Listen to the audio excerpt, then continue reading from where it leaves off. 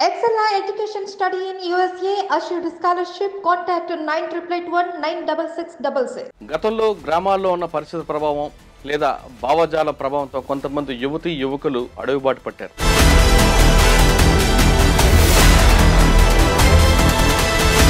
ఈ వారం మన guest Guvvala Mahesh Alia Subhash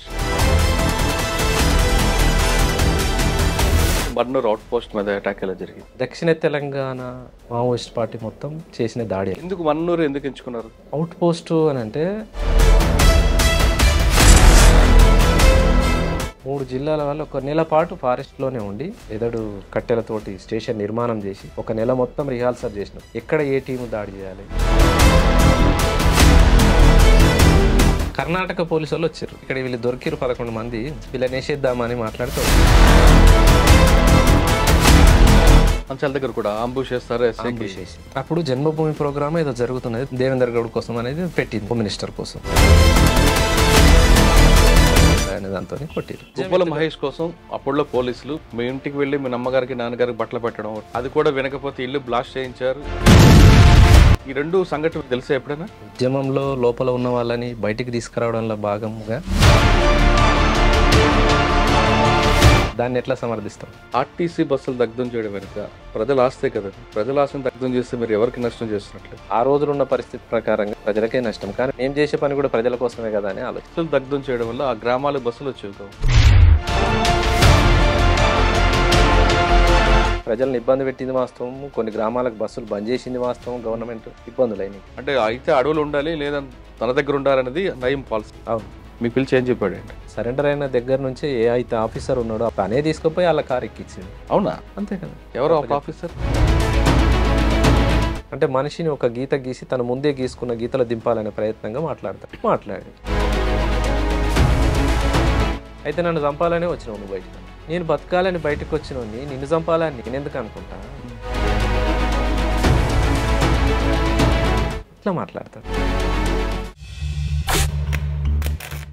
welcome to crime confessions గతంలో గ్రామాల్లో ఉన్న పరిస్థితి ప్రభావం లేదా భావజాల ప్రభావంతో కొంతమంది యువతి యువకులు అడవిబాటు పట్టారు. అడవిలోకి వెళ్ళిన తర్వాత బడుగు బలహీన వర్గాల కోసం నిరంతరం కృషి చేస్తూ వాళ్ళకి అన్ని విధాలుగా ఆదుకున్నారు. వాళ్ళు రాజకీయ చైతన్యం కల్పించడం కాకుండా వాళ్ళకి ఆహార పదార్థాలు ఇవ్వడంతో పాటు రకరకాలుగా వాళ్ళకి చేదోడుగా ఉండేవారు.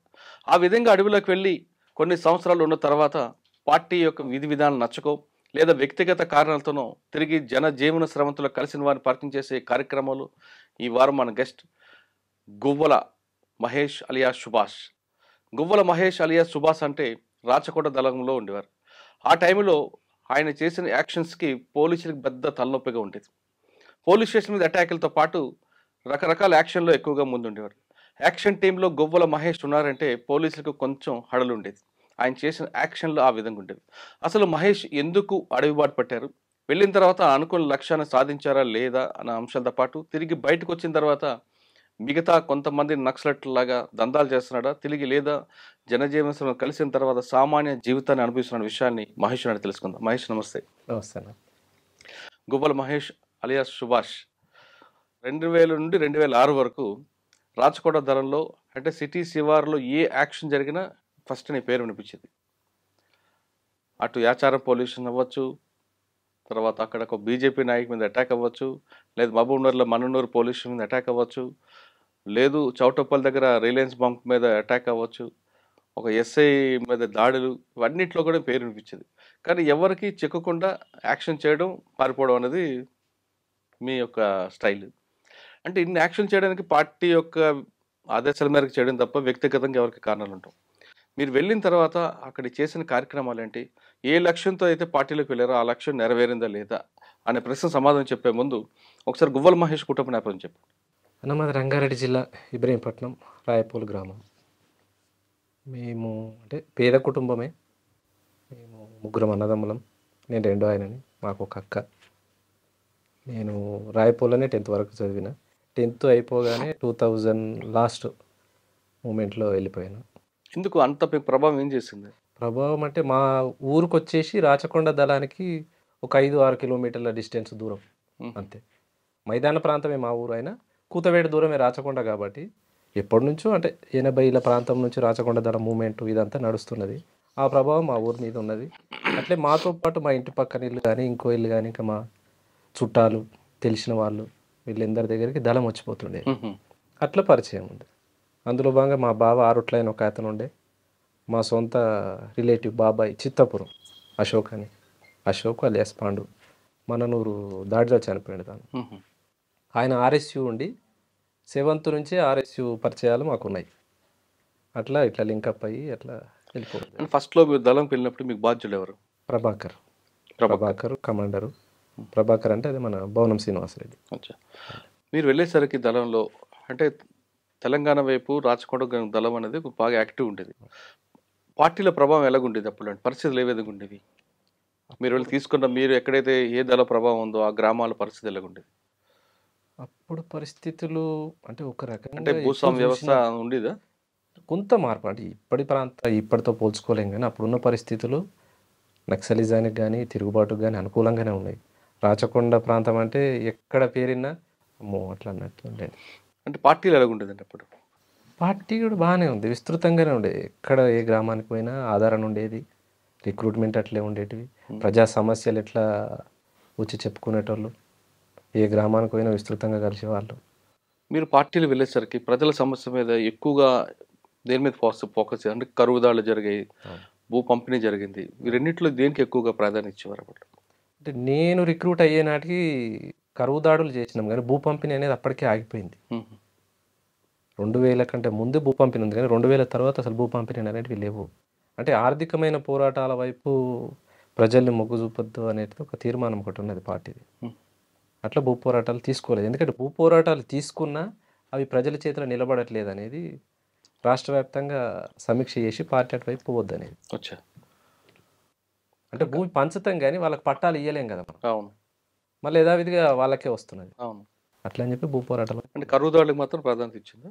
అంటే ఆ రోజు ఉన్న పరిస్థితులు కరువు అనేది ప్రజల్ని ఆకలితో ఉంచలేం కదా. ఒక దగ్గర టన్నుల కొద్దీ రైస్ మిల్లర్లు ఉండేటిది దొరల దగ్గర ఉండేటిది పెత్తందారుల దగ్గర ఉన్నాయి కాబట్టి ప్రజలకు తక్షణంగా మనం అందించాల్సింది. ఆ విధంగా మంతన్ గౌరెల్లి కాదు మొండి గౌరెల్లిలా కరువు దాడి చేసినాం. చేసి బియ్యము మీరు మీరు టైంలో మొండి గౌరెల్లి ఆరుట్ల అవును. ఈ రెండిట్లో చాలా పెద్ద కరువుదాడి జరిగింది. అవును. ఒకసారి వాటిని రివీల్ చేయండి. చింతపట్ల విలేజ్ మొండి గౌరెల్లి Hmm. ఈ రెండు గ్రామాల మధ్యన ఒక్కడే డీలర్ ఉండేది. అప్పుడు గవర్నమెంట్ పనికి ఉపాధి పథకం కింద బియ్య పంపిణీ జరిగేది. పనికి ఆహార పథకం. పనికి ఆహార పథకం పనికి ఆహార పథకం కింద బియ్యం పంపిణీ జరిగేది. అది సక్రమంగా పంచుతలేరు జరుగుతలేవు. ఇక అక్రమాలు జరిగి బయట అమ్ముకుంటున్నారు అనేది మనకు వార్త ఉంది. ఇట్లా కాదు మరి కరువు దాడికి సిద్ధపడదామా అనేసి ఒక వారం పది రోజుల నుంచి ఆ గ్రామాల ప్రజలందరినీ కలిసి ఆ గ్రామాలలో ఉన్న సంఘాలతోని సమాచారం తీసుకొని అందరు పార్టిసిపేట్ చేయాలి మరి చేద్దామనంటే చేద్దామని ఒక నిర్ణయానికి వచ్చి దాడి చేసాం. దాడి చేసి బియ్యాన్ని ట్రాక్టర్ జరిగింది నైటే. సాయంత్రం పూట ఏడు గంటలకు ఎనిమిది గంటలకు ఊర్లోకి వచ్చేసి రెండు గ్రామాల వాళ్ళని తీసుకొచ్చి మీరు తీసుకెళ్ళిపోండి ఎవరి కాలు తీసుకుపోయారు ఎవరి కాలు తీసుకుపోయారు తీసుకుపోయారు కానీ ఎవరంతలో వాళ్ళు సంతులు తీసుకుపోలేదు. తీసుకుపోయి గౌరీల కాడ ఏం జరిగిందంటే వాళ్ళు ఒక బండ మీద ఊరు బయట పోసి పంచుకున్నారు. అది అప్పటికే లీక్ అయిపోయింది. తెల్లారి డిపార్ట్మెంట్ వచ్చిర్రు కేసులు అయినాయి అదంతా జరిగింది. ఎవరెవరైతే కేసుల పాలయ్యారో మళ్ళీ వాళ్ళ వాళ్ళందరినీ కూడా విడిపించినాం. మీరు పార్టీలో వెళ్ళేసరికి మీకు తుపాకీ మీద అవగాహన లేదు. కానీ పార్టీలకు వెళ్ళాక తుపాకీ పట్టుకొని ఎక్కడ ట్రైనింగ్ తీసుకున్నారు? గుట్టల్లోనే రాజకొండ గుట్టలోనే ఫారెస్ట్లోనే. ఎవరికైనా రిక్రూట్ అయిన వాళ్ళ ఎవరికైనా పార్టీ రోజువారీగా శిక్షణ ఉంటుంది. మూడు నెలలకు ఆరు నెలలకు మిలిటరీ క్యాంప్ ఉంటుంది. పొలిటికల్ క్యాంప్ ఉంటుంది. పొలిటికల్ క్యాంపులో పొలిటికల్ శిక్షణ ఇస్తారు. మిలిటరీ క్యాంపులో మిలిటరీ శిక్షణ ఇస్తారు. ఈ రెండిట్లో దేనికి ఎక్కువగా మీరు ఇంట్రెస్ట్ చూపించేవారు? రాజకీయ వైపు వెళ్ళేవారా? లేదు తుపాకీ పట్టుకొని వెళ్ళాలనుకున్నారు?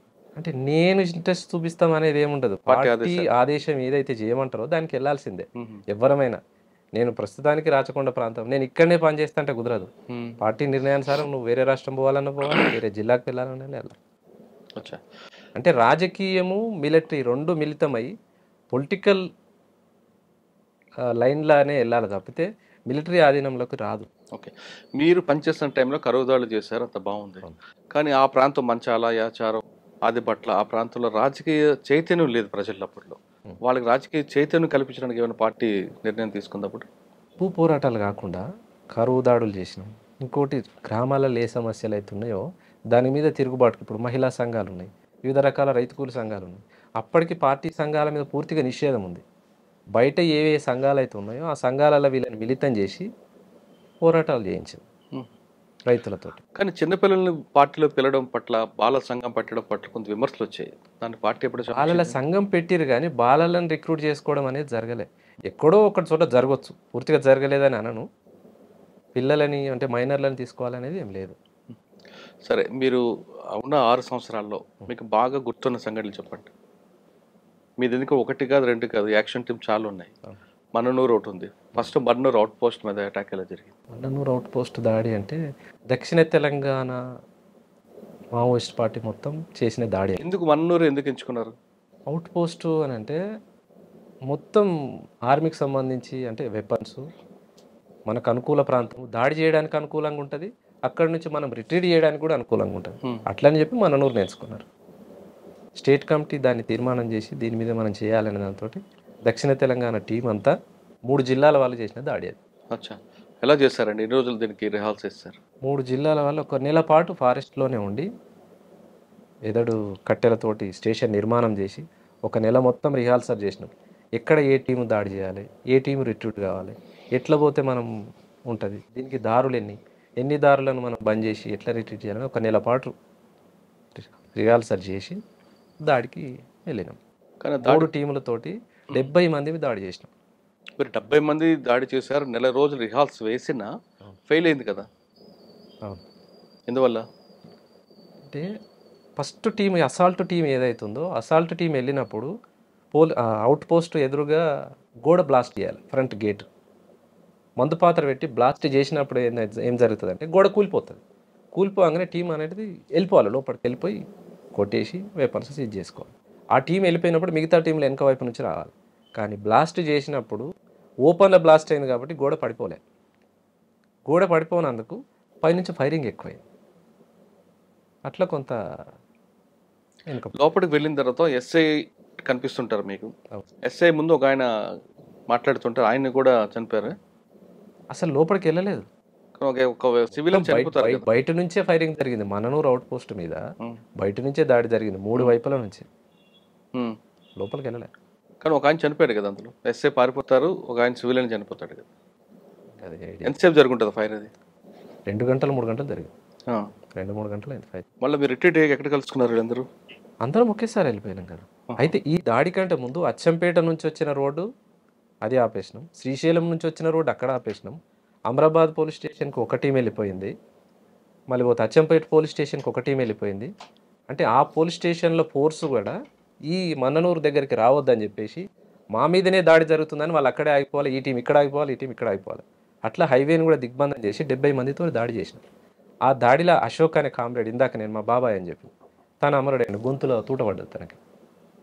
ఆయనకి లోపట సైన్యం అంటే ఆర్మీ శిక్షణ అనేది తక్కువ ఉంది. అంటే బయట సంఘాలలో పనిచేసిండు కానీ మిలిటరీ అనుభవం లేదు. ఆ దాడిలో ఉంటా అన్నాడు సరే ఉంచాం ఇంకో కామ్రేడ్కి కాలుకు తూటపడ్డది ఇంకో కామ్రేడ్కి తొడకు తూటపడ్డది. ఇద్దరు గాయాలైనవి అశోక్ అమరుడైండు. అట్లా రిట్రీట్ అయినాం. అంటే అశోక్ అనే వ్యక్తి కామ్రేడ్ చనిపోయారు అక్కడ. అశోక్ అనే కామ్రేడ్ చనిపోయాడు స్వామికి తొడల తూటపడ్డది. ఇంకా ఆనంద్ అని ఇంకో కామ్రేడ్ ఉండే. తనకేమో కాలు పాదానికి తూటపడ్డది ఎంతమంది పాల్గొన్నారు? డెబ్బై మందిలో ఎవరో ప్రధానంగా ఉన్నారండి అందులో? సాంబశివుడు టీంకు మొత్తానికి సాంబశివుడు కమాండర్. డిప్యూటీగా రవి నల్గొండ జిల్లా సెక్రటరీ ఉండే. ఎవరు? నల్గొండ జిల్లా సెక్రటరీ. రవి. రవి. తను డిప్యూటీ కమాండర్గా ఉండే. అట్లా వీళ్ళిద్దరితో పాటు టీంకి ఒక కమాండర్ ఉంటాడు. ముగ్గురు టీంలు కాబట్టి ముగ్గురు టీంలు. మూడు టీంలు. మీదేంటి? టీం మెంబర్గా ఉన్నా ఆహా. కానీ మీరు వెళ్ళారు ఇంత సక్సెస్ అయ్యారా? తుపాకులు తీసుకుని ఏమన్నా? కాలేదు కదా దాడి ఫెయిల్ అయింది. వెపన్స్ ఏం రాలేదు. తర్వాత దీని మీద సమీక్ష జరుపుకున్నారా? జరిగింది. దీని సమీక్షలు ఏమొచ్చింది ఇన్పుట్ మీకు? అయితే ఈ దాడి జరుగుతున్నప్పుడే శ్రీశైలం నుంచి వచ్చిన హైవేని ఆపేసినాం కదా కర్ణాటక పోలీసు వాళ్ళు వచ్చారు. కర్ణాటక పోలీసు వాళ్ళు వచ్చినప్పుడు మనం ఆల్రెడీ నష్టపోయినాము ఒక కామ్రేడ్ చనిపోయిండు వీళ్ళందరినీ కూడా ఇక్కడ వేసేద్దాం అనేది మనోళ్ళు అక్కడ ఆపిన టీం మాట్లాడారు. మాట్లాడి మనకు వాకిటాకిలో చెప్తే సాంబశివుడు వాళ్ళు ఏం మాట్లాడారంటే లేదు లేదు వాళ్ళు సివిల్గా వచ్చిర్రు. పదకొండు మంది వచ్చారు కర్ణాటక పోలీసు. ఎందుకు? వాళ్ళు ఎందుకు వచ్చారు? శ్రీశైలం దర్శనానికి పోయి రిటర్న్లో వస్తున్నారు వాళ్ళు. రిటర్న్ వచ్చేటప్పుడు మన వాళ్ళు రోడ్ ఆపేసారు కదా. రోడ్ ఆపిన దగ్గర "ఏయ్, మేము పోలీస్ మీరు కూడా ఇక్కడ ఆపిరు అనేసి వాళ్ళు మాట్లాడారు. మాట్లాడితే మీరు పోలీసా అని చెప్పేసి మన వాళ్ళు పట్టేసి కట్టేసి వెనకకు ఆపిరాలు మనది అది ఎట్లయినా ఫెయిల్ అయింది కదా మరి ఇక్కడ వీళ్ళు దొరికిరు పదకొండు మంది. వీళ్ళని వేసేద్దామని మాట్లాడితే వద్దు తప్పు మనం అట్లా చేయొద్దు. దాడికి పోయిన దగ్గర ఏమైనా జరగవచ్చు కానీ వాళ్ళు సివిల్గా దొరికిరు మనకు. అని చెప్పి వాళ్ళని అట్లా అక్కడ ఉంచేసి గ్రేటే కదా. వదిలేసిన ఏం చేయలేదు వాళ్ళు. అంటే ఆయన గొప్పతనం అనుకోవాలా? లేదా పార్టీ నిర్ణయం అది? పార్టీ నిర్ణయం. పార్టీ నిర్ణయం ఒకటి ఉంటుంది. ఆ- అప్పటికప్పుడు నిర్ణయాలు తీసుకునే దాంట్లో కూడా నాయకత్వ గొప్పతనం కూడా ఉంటుంది. కొన్ని విషయాలలో. తర్వాత మీకు బాగా గుర్తుండిపోయిన సంగతి చెప్పండి. యాచారం పోలీస్ స్టేషన్ కానీ? యాచారం పోలీస్ స్టేషన్ అప్పుడు నేను లేను. అప్పటికి నేను రిక్రూటే కాలేదు. మంచాల? మంచాల పోలీస్ స్టేషన్ ఏం జరగలేగా? మంచాల దగ్గర కూడా అంబుష్ చేస్తారు? ఎస్ఐకి? అంబుష్ చేసి చేసాడు ఎందుకు ఆయన కోసం ఎందుకంటే ఎస్ఐ? ఎస్ఐ కోసం కాదు అది చేసింది. అప్పుడు జన్మభూమి ప్రోగ్రామ్ ఏదో జరుగుతున్నది. దేవేందర్ గౌడ్ మంత్రి గారు ఉన్నారు పుష్పలీల మంత్రి గారు ఉన్నారు. అప్పుడు దేవేందర్ గౌడ్ కోసం అనేది పెట్టింది. కానీ హోమ్ మినిస్టర్ కోసం. హోమ్ మినిస్టర్ కోసం. ఇక మారుమూల ప్రాంతం రావద్దని మరి వాళ్ళకి ఎస్ఐబి ఇన్స్ట్రక్షన్స్ ఏమున్నాయి కానీ వాళ్ళు రాలేదు. వాళ్ళు వస్తారు అనే దాంతో పెట్టింది కాబట్టి వాళ్ళు రాలేదు. ఏదో జరగని అనేసి కొట్టేసారు. అట్లా. వస్తారని పెట్టారు. కానీ ఎస్ఐ వచ్చారు అక్కడికి? డిపార్ట్మెంట్ వస్తున్నది. సరే డిపార్ట్మెంట్ అయినా ఏం కాదులే అనే దాంతో కొట్టిరు. బ్లాస్టింగ్లో తను ఎస్ఐ ఇంకో కానిస్టేబుల్ చనిపోయినట్టున్నారు. ఎస్ఐ గాయాలైనట్లే కదా? లేదు లేదు ఇద్దరు చనిపోయారు. ఎస్ఐ ప్లస్ సంజీవరావు అని ఎస్ఐకి సంఘటన? సంజీవరావు ఎస్ఐకి ఏమో క్లెమోర్ మైన్స్ దాడిలో తనకు గాయాలైనాయి. ఎలా ఎందుకు అది? క్లెమోర్ మైన్స్ ఎక్కడ అంటే మన మొండిగౌరిల్లి అనే ఊర్లో కూమింగ్ పార్టీస్ ఎప్పుడు ఒక బాయ్ దగ్గర నుంచి వచ్చిపోతుండేది. మేము వచ్చిపోయే దారులు వాళ్ళకి ఎట్లయితే తెలుస్తాయో వాళ్ళు వచ్చిపోయే దారులు కూడా మాకు తెలుస్తాయి కదా. అట్లా వాళ్ళు వచ్చిపోయే దారిలో క్లెమోర్ మైన్స్ పెట్టి అంబుష్ ఏర్పాటు చేసినాం. రాళ్ళ గోడ తెట్టెగోడ అంటాం కదా. తెట్టెగోడల మైన్స్ పెట్టి క్లెమోర్ మైన్స్ పెట్టి కూర్చున్నారు. ఇవాళ తీరా దగ్గరికి వచ్చిన తర్వాత అంటే మన పాయింట్ బ్లాక్లోకి వచ్చిన తర్వాత పేల్చాలి అవి. మ్మ్. రాకంటే ముందే కొంత మనోళ్ళు ఆతృతతోటి ముందే ఒత్తిరు. ఆ తిట్టగూడలు పెట్టారు కాబట్టి ఆ రాళ్ళు ఎగిరిపోయి తగిలినాయి అంతే. నిజంగానే దగ్గరకు వస్తే ఆ రోజున్న కూమింగ్ పార్టీ మొత్తం ఎగిరాల్సిందే. అట్లా జరగలేదు ఈ టెక్నికల్ సపోర్ట్ ఎవరు ఇచ్చారు అప్పుడు మీకు? శిక్షణ ఉంటుంది కదా. మిలిటరీ శిక్షణలో. ఓకే క్లైమర్ బండ్స్ వాడడం అది క్లేమోర్స్ కానీ గ్రెనేడ్స్ కానీ అన్ని రకాల వెపన్స్. అన్న మీరు చేసిన అన్ని యాక్షన్లో బాగా టఫ్ వచ్చిన యాక్షన్ చెప్పండి. బాగా కష్టపడ్డాం దీంట్లో అని. టఫ్ అని అంటే ఇక మన నూరే అందరం కష్టపడ్డాం. కానీ ఫెయిల్ అయ్యారు. ఫెయిల్ అయింది. ఒక నెల పాటు కష్టపడి మూడు జిల్లాల టీం అంతా అంటే ఫెయిల్ అయింది ఏంటంటే మనం దాడికి వెళ్తాం. దాడిలో వాళ్ళు చేస్తారా మనం చేస్తామా? ఇక అది చెప్పలేము సరే వెళ్ళారు. ప్రజల కోసం పోరాటం చేశారు. అప్పుడు ఇప్పటికైనా మీకు అమ్మా నాన్న గుర్తు రాలేదా? వస్తారు కదా. అమ్మ నాన్నని మర్చిపోం కదా. పిలిపించుకున్నారా? మీరు వెళ్ళారా? ఎప్పుడు పిలిపించుకోలేదు. కానీ మీకోసం పోలీసులు మీ మీ ఇంటికి వెళ్ళి తలుపులు కొట్టారు కదా. తెలుసా? ఒక్కసారి కదా వందల సార్లు. మరి అప్పుడు మీకు బాధ అనిపించలేదా? నక్సలైట్లలో పోయిన ప్రతి కుటుంబము బాధలు పడ్డోళ్ళే. అంత ఆషామాషిగా ఏముండదు. ఎక్కడ ఏం జరిగినా కుటుంబాన్ని తీసుకుపోవడం ఎక్కడో జరిగితే ఇగో మీ పిల్లలు చనిపోయినరు మీ కొడుకు చనిపోయిండు ఇగో మీకు ఇది ఇస్తాం రండి మీకు అది ఇస్తాం రండి. గుబ్బల మహేష్ కోసం అప్పుడులో పోలీసులు ముందు భయపెట్టడం తర్వాత బెదిరించడం కాకుండా బుజ్జగించడం కూడా చేసేవారు. మీ ఇంటికి వెళ్ళి మీ అమ్మగారికి నాన్నగారికి బట్టలు పెట్టడం ఒక కార్యక్రమం పెట్టారు. అది కూడా వినకపోతే ఇల్లు బ్లాస్ట్ చేయించారు. ఈ రెండు సంఘటన తెలిసే ఎప్పుడైనా? ఇల్లు బ్లాస్ట్ ఏం జరగలే కానీ కొట్టడం చేశారు. కొట్టడం జరిగింది. మా తమ్ముడిని అంటే ఇల్లు మీ అమ్మగారిని అందరిని కొట్టారు ఇల్లు కూలుస్తామని చెప్పారు. అది కూడా వినకపోతే బట్టలు ఇచ్చి కూడా మంచి చేసుకుందాం అవును. ఈ రెండు సంఘటనలు మీకు నోటీస్కి వచ్చాయా? వచ్చినాయి. ఏమన్నారు అప్పుడు మీరు? వచ్చినాయి. అంటే రాష్ట్ర వ్యాప్తంగా అన్ని కుటుంబాల మీద ఎట్లయితే దాడులు జరుగుతున్నాయో అందులో భాగంగా మా కుటుంబం మీద దాడి జరిగింది. కానీ బట్టలు ఇచ్చి బుజ్జగించుకున్న కార్యక్రమానికి మీరు దానికి సమర్థిస్తారా? వ్యతిరేకిస్తారా? రాజ్యం ఎత్తుగడలలో భాగంగా పార్టీని ఎట్లయితే అంటే ఉద్యమంలో లోపల ఉన్న వాళ్ళని బయటికి తీసుకురావడంలో భాగంగా డిపార్ట్మెంట్ చేస్తున్నటువంటి ఎత్తుగడలు. అది వాళ్ళు వాళ్ళ ఎత్తుగడది దాన్ని ఎట్లా సమర్థిస్తాం? అంటే ఇప్పుడు ఎట్లా నేను ఎట్లా బయటనే ఉన్నా అనుకో ఆ రోజున్న పార్టీ ఆలోచన ప్రకారంగా అవి అనేది తప్పు. వాటిని ఏవి కూడా మనం పరిగణలోకి తీసుకోవద్దు. ఉమ్మడి ఆలోచనగా అంటే ఉమ్మడి ప్రజల కోసం పోయినప్పుడు మన కుటుంబం బాధలు పెద్ద విషయమేం కాదులే. అందరిలో భాగంగా జరుగుతున్నాయి అనే దాన్ని చూడాలి. కానీ దానికి కౌంటర్గా పార్టీ కూడా ఒక నిర్ణయం తీసుకుంది అప్పట్లో.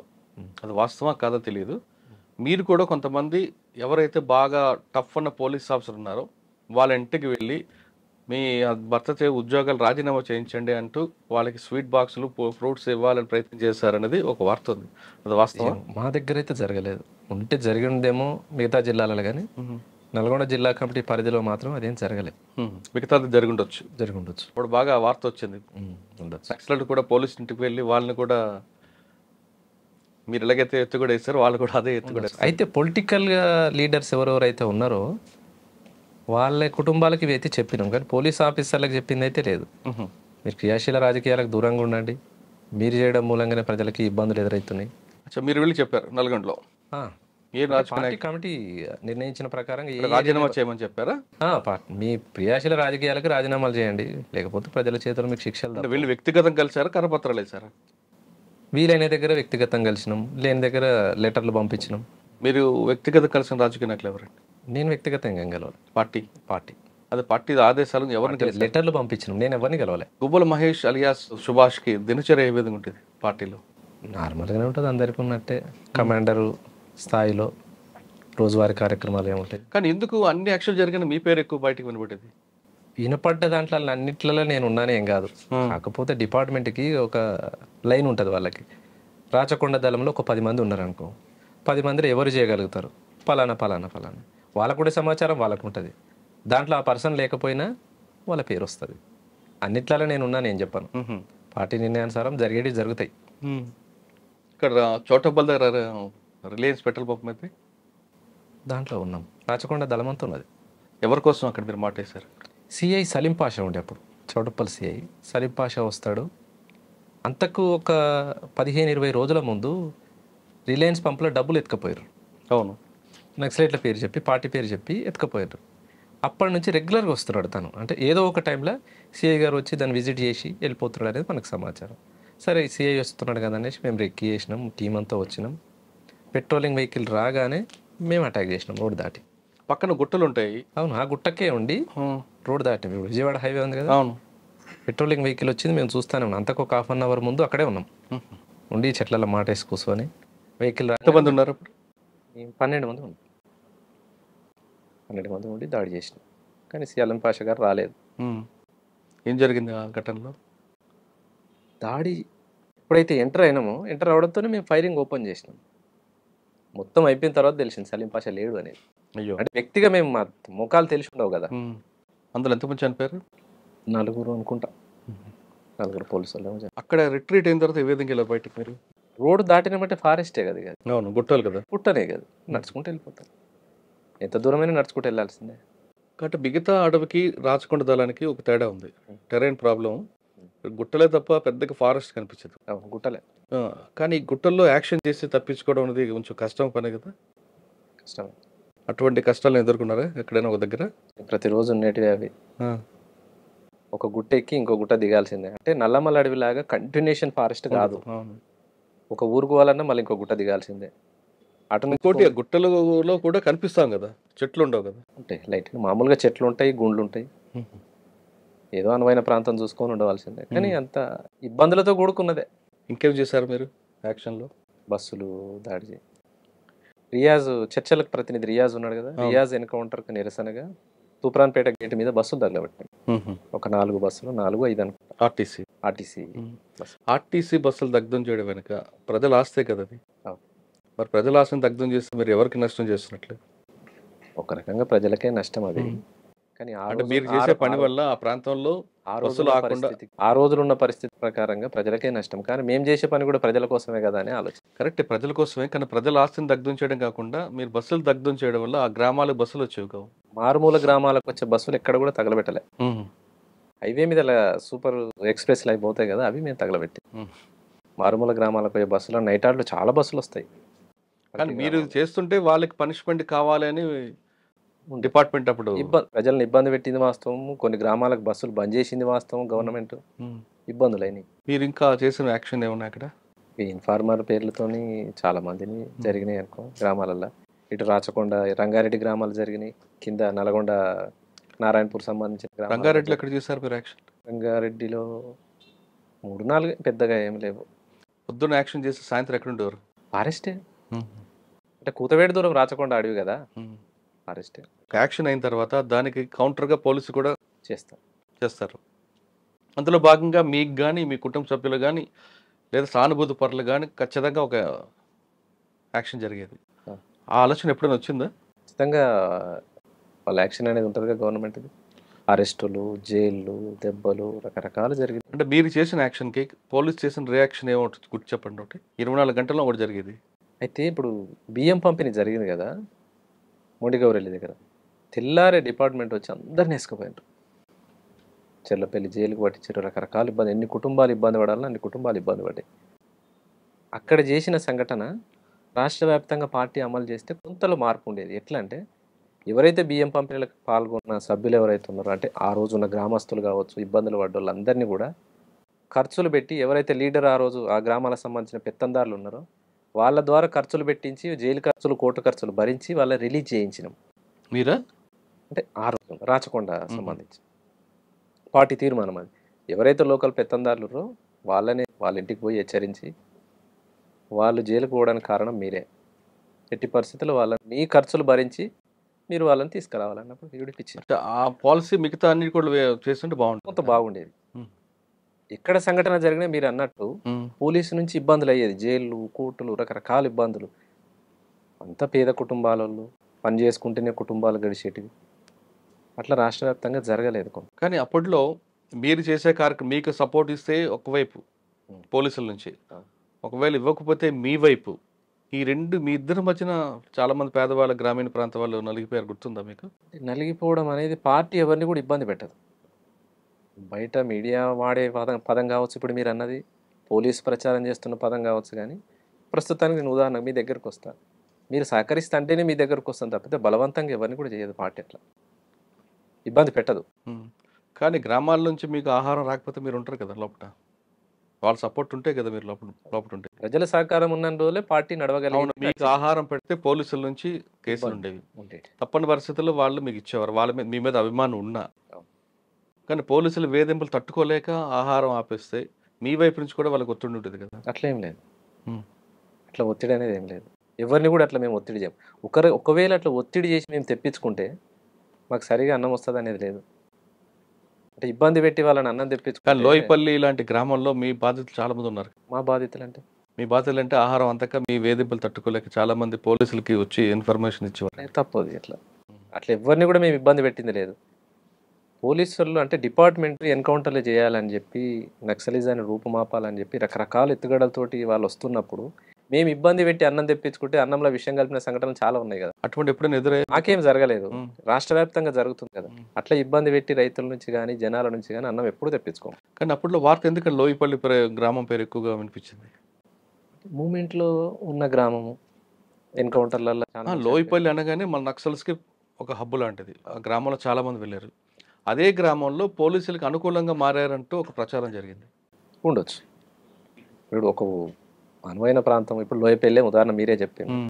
ఆ ఊరు ఊరంతా మాకు ఉంటుందని నేను చెప్పలేను మా పూర్తి మా ఆధీనంలో ఉంటుందని చెప్పలేను వాళ్ళకున్న సంబంధాలు వాళ్ళకు ఉంటాయి మాకుండే సంబంధాలు మాకుంటాయి. అదే లోయపల్లి నుంచి బూడిద అనురాధ అని ఒక కాంపరేడ్ ఉన్నారు. ఎప్పుడైనా ఎదురుపడ్డారా? కలిసి మా పనిచేస్తారు టీం మెంబరేగా. మా దళమే ఇద్దరం దళ సభ్యులం ఇద్దరు కలిసి ఎక్కడ పనిచేశారు? రాచకొండ దళంలోనే పనిచేసినాం. రెండు వేల మూడు దాకా తను రాచకొండలోనే ఉంది. రెండు వేల మూడు తర్వాత ఆమె నల్లమలకు షిఫ్ట్ అయింది. అక్కడ నుంచి మెదక్ షిఫ్ట్ అయింది కలిసి. మీ ఇద్దరు కలిసి చేయలేదు యాక్షన్ ఇక్కడ దేవులమ్మ నాగారంలో ఇన్ఫార్మర్ జరిగిన దాంట్లో. ఒకరిద్దరు ఇన్ఫార్మర్లను శిక్షించిన దాంట్లో ఉన్నాం కానీ ఆమె పేరు మీ పేరు ఎందుకండి ఎక్కువ అనిపించేది అప్పట్లో యాక్షన్ జరిగిందంటే ఇందాక నేను అన్నట్టు ఒక టీంలో ఎంతమంది ఉన్నారు? వాళ్ళ ఎవరెవరైతే చేయగలుగుతారనే డిపార్ట్మెంట్కి ఉన్న నాలెడ్జ్ ప్రకారం వాళ్ళు బయటకు రిలీజ్ చేసేది.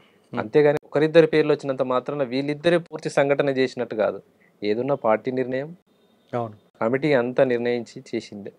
వ్యక్తిగా నలుగురు కలిసి చేసిందే కానీ ఒక్కరు ఆధీనం కాదు. ఓకే. మీ దళంలో మీకు సమకాలికులు ఎవరు? మొత్తం నేను రాచకొండలనే ఉన్నది ఏం లేదు. రెండు వేల ఒకటిలో రిక్రూట్ అయిన తర్వాత ఒక మూడు నెలలు ఇక్కడ ఉన్న తర్వాత కృష్ణపట్టి దళంకి వెళ్ళిపోయాను.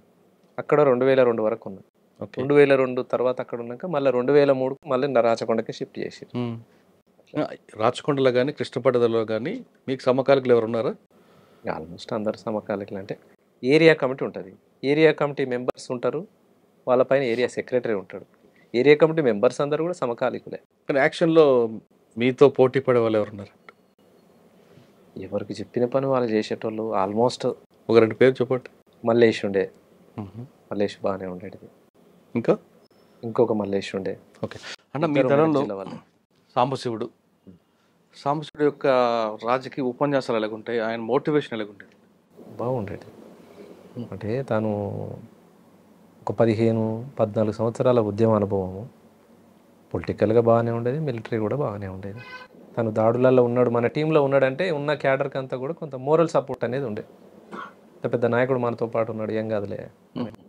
మనం తక్కువ మంది ఉన్నా కొట్టగలుగుతాంలే అనే ధీమా అనేది ఉంటుంది. ఒక state secretary state committee member మనతో పాటు ఉన్నాడు అంటే. ఉంటుంది. కానీ యాక్షన్ చాలా ఫాస్ట్గా నిర్ణయం కూడా చాలా ఫాస్ట్గా ఉంటాయట కదా ఉంటాయి. కానీ పార్టీలో అంత వేగంగా నిర్ణయం తీసుకోవడం కూడా పార్టీ ఒప్పుకోదు కదా. ఆలోచించి నిర్ణయం తీసుకోవాలి కదా. అంటే దీంట్లో ఏంటంటే ఏదైనా కమిటీ తీర్మానం అనేది ఒక వ్యక్తిగా వచ్చేది కాదు. ఒక జిల్లా సెక్రటరీ ఉండని స్టేట్ సెక్రటరీ ఉండని ఫాస్ట్గా వస్తాయి తను ఒక్కడే తీసుకోగలుగుతాడు అనేది ప్రచారం. అంటే ఆ వ్యక్తి పాత్ర లేదని నేను అనను. ఏదైనా వ్యక్తి పాత్ర ఉంటుంది అందులో భాగంగా కమిటీ పాత్ర కూడా ఉంటుంది. ఏ సంఘటన వెనుక కూడా వ్యక్తి పాత్ర కంటే కమిటీ పాత్ర అనేది ఉంటుంది అందులో సాంబశివుడైనా కావచ్చు శాఖమూరి అప్పారావు అయినా కావచ్చు మాధవ్ కావచ్చు రామకృష్ణ కావచ్చు అందరి పాత్ర ఉంటుంది. ఎప్పుడైనా మీరు నల్లమల దళం ఉంది లేదా మెదక్ నుంచి కానీ ఈ దళం పాస్ అవ్వాలంటే మీ రాచకొండ మీద నుంచి దళం పాస్ అవ్వాలి. అవును ఎప్పుడైనా ఒక మంచి కేంద్ర కమిటీకి కానీ వాళ్ళకి దారి చూపించారా? చాలా అంటే రెండు వేల చౌటప్పల్ దగ్గర సంసార్ నారాయణపూర్ దగ్గర క్రాస్ అవుతారు కదా. ఇక్కడ అనేది ఏం లేదు. అంటే వాస్తవానికి మే రెండు వేల ఒకటిలో మెదక్ జిల్లాని ఎత్తేసినప్పుడు మాధవ్ రెండు అక్కడనే ఉన్నాడు ఇక్కడ మెదక్ జిల్లాలో. మెదక్ ప్రాంతం నుంచి నల్లమలకు రావాలైనా ఎవరైనా రాచకొండ దళాన్ని అప్రోచ్ అయ్యి రావాల్సిందే. మెదక్ నుంచి వచ్చిన తర్వాత సిద్దిపేట ఈ ప్రాంతం నుంచి భువనగిరి ఆలేరు దళం టచ్ అవుతుంది ఆలేరు దళం తర్వాత రాచకొండ దళం. రాచకొండ దళం కనగల్లు. కనగల్ దళం తర్వాత కృష్ణపట్టికి. కృష్ణపట్టి అంటే నల్లమలకు టచ్ అప్పుడు. అట్లా వన్ బై వన్ ఎవరి పరిధిలో వాళ్ళు తీసుకుపోయి అప్పచెప్పాల్సిందే. అలా ఎవరికి నప్పు చెప్పారా? ఆ, మాధవ్ వచ్చినప్పుడు మేము తీసుకుపోయినాం. రాచకొండ దళం మేము రిసీవ్ చేసుకొని ఆలేరు దళం వాళ్ళు మాకు అప్పచెప్తే మేము కనగల దళం అప్పచెప్పినాం మాధవని మీకు ఆలేరు దళం హ్యాండ్ ఓవర్ చేసింది. ఈ టైంలో ఎక్కడ ఎలా తీసుకొచ్చారు? మాధవ్ను మాకు పోచంపల్లి అవతల రిసీవ్ చేసుకున్నాం. పోచంపల్లి మీరేనా? పోచంపల్లి బీబీ నగర్ ఆ ప్రాంతంలో. మేమంటే టీం రాచకొండ దళం. దళం అందరం రిసీవ్ చేసుకున్నాం. నైటే ఎంత దూరమైనా ఎంత జర్నీ అయినా నైటే నడవాల్సిందే. అంత పెద్ద నాయకుడు ఉన్నాడని చెప్పేసి బస్సులలోనూ అక్కడికి జర్నీలు ఉండవు. నడుచుకుంటూ వెళ్ళాల్సింది. వాళ్ళు రిసీవ్ మాకు అక్కడ రిసీవ్ చేసుకున్న తర్వాత మా మళ్ళీ కనగల దళానికి మేము అప్పచెప్పడానికి ఒక ఫోర్ డేస్ మా మా దగ్గర ఉంటాడు. అంత దూరం నడిచారు? నాలుగు రోజులు నడిచి రాచకొండ దళం వాళ్ళు కనగల దళానికి అప్పచెప్పింది. కనగల వాళ్ళు కృష్ణపట్టికి అప్పచెప్తారు. అలా నల్లమలలోకి? అక్కడ నుంచి కృష్ణపట్టి అంటే ఇక నల్లమల్ల బార్డరే అంటే మాధవ్తో మీకు అనుభవాలు చెప్పండి ఒకసారి. మాధవ్తో ఎక్కువ కాలం కలిసి ఉన్నది అంటే నల్గొండ జిల్లా ఇన్ఛార్జిగా ఉన్నాడు. అంటే స్టేట్ కమిటీ మెంబరు ఒక జిల్లాకు ఉంటారు. తను ఉన్నన్ని రోజులు మిలిటరీ క్యాంపులు జరిగేటివి. స్టేట్ క్యాంపులు జరిగేటివి అదేంది? పొలిటికల్ క్యాంపులు జరిగేటివి. ఇంకోటి మననూరు దాడికి పూర్తిగా తానే ఉన్నాడు. గైడెన్స్ పూర్తిగా ఆయనే. సాంబశివుడు కూడా ఉన్నారు కదా? సాంబశివుడు టీంలో ఉన్నాడు కానీ మొత్తాన్ని డీల్ చేసింది మాధవే. స్టేట్ సెక్రటరీ అప్పుడు తను. Madhav state secretary. రాష్ట్ర వ్యాప్తంగా ఎక్కడ ఏం జరుగుతలేవు. ఇది ఒక్కటి మనం కొట్టగలిగితే రాష్ట్ర వ్యాప్తంగా మంచి ప్రభావం ఉంటుంది పరిస్థితులు ఉంటాయని చెప్పేసి చేపించిన దాంట్లో మాధవ్ పాత్ర ఉంటుంది. కానీ అది ఫెయిల్ అయింది. ఫెయిల్ తర్వాత దాని ఆయన సమీక్షలు ఏమంటారు ఆయన?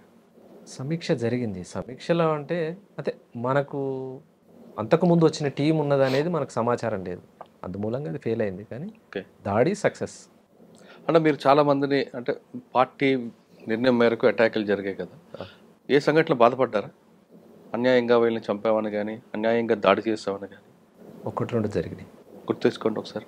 నారాయణపూర్ ప్రాంతంలో జరిగినాయి. అంటే కొంత రాంగు సమాచారం. ఎట్లా అంటే ఆ- ఆ రోజు రెండు వేల ఐదు పరిస్థితికి ఏంటంటే నయీం మూమెంట్ అనేది బాగా ఉంది. విస్తృతంగా ప్రతి గ్రామంలో పట్టుకుపోయి కొట్టడము చంపేయడము నరికేయడం ఎవరిది? నయీముద్దీన్. నయీముద్దీన్ ప్రాంతం. డిపార్ట్మెంట్ కంటే ఎక్కువ నయీముద్దీన్తో ఇబ్బందులు పడ్డ గ్రామాలు ఎక్కువ కుటుంబాలు ఎక్కువ చిన్న భిన్నమైన కుటుంబాలు. అందులో భాగంగా ఒకరిద్దరు నయీంకు కలిసిరని చెప్పేసి మనకున్న సమాచారం మేరకు ఒకటి రెండు జరిగినాయి. తర్వాత ఆ కుటుంబాలకు వెళ్ళి కలిసి కూడా చెప్పిండ్రు. అది కాకుండా ఇంకా ఒకటి రెండు జరిగినాయి అంటున్నా. పూర్తిగా తప్పిదాలని నేను అంటే.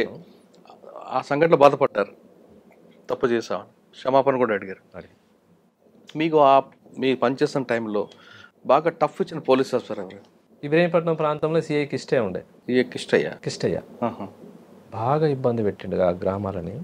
యాచారం బెల్ట్ నుంచి యాచారం మంచాల ఇబ్రహీంపట్నం. సాగర్ రోడ్ కిష్టయ్య గౌడ్? రైట్. ఈ గ్రామాలన్నిటినీ బాగా ఇబ్బందులు పెట్టిండు. ఒక టైంలో అన్ని గ్రామాలలో పోయి సిపిఎం వాళ్ళు ముందరుండి ధర్నా స్టేషన్ ముందర ధర్నా చేపించిన పరిస్థితి. బాగా ఇబ్బందులు ఇక్కడ తర్వాత? ప్రాంతం వచ్చేసి. అక్కడ రాచకొండ వైపు? అక్కడ చాలా మంది ఉన్నారు. ఎవరి పేరు చెప్పండి? సిఐ శ్రీనివాస్ ఉండే. ఈ శ్రీనివాస్? శ్రీనివాస్ అనే పేరు. నాకు సర్నేమ్ గుర్తులేదు. అంటే పార్టీకి దెబ్బ పడింది వాళ్ళ వల్ల? సిఐ రామచంద్రారెడ్డి ఉండే. చౌటుప్పల్ ఉండే తర్వాత ఇప్పుడు డీసీపీ ఉన్నట్టు అవును. రామోజీరావు గారు ఆ పైన ఉన్నప్పుడు ఒక దళం పక్క నుంచి కొండల మీద వెళ్తుంది. దానివల్ల పోలీసులు కూంబింగ్ చేశారు అనేది ఒక వార్త వచ్చింది. మా దళమే తిరిగేదట. రచకొండ దళమే. ఫిలింసిటీ దగ్గర దాకా వెళ్ళేది. ఇంకా లోపలికి వెళ్ళే సాహసం చేయలేదు. ఇప్పటికీ మేము ఎందుకు పోతాం? అంత అవసరం కూడా లేదు. సరే మీరు పనిచేస్తున్న కాలంలో మీకు బాగా గుర్తుండిపోయిన సంఘటన చెప్పండి. చాలా ఉన్నాయి. ప్రతిరోజు ఎన్కౌంటర్లేనే వారం వారం ఎన్కౌంటర్లే పోలీసు వాళ్ళు ఎబ్బడోడలే అన్ని ఇబ్బందులే. ఎక్కడో ఎన్కౌంటర్ జరిగిందంటే పార్టీలు ఎలా చర్చించేవారండి? మీ కళ్ళ ముందే రియాజ్ ఎన్కౌంటర్ కానీ.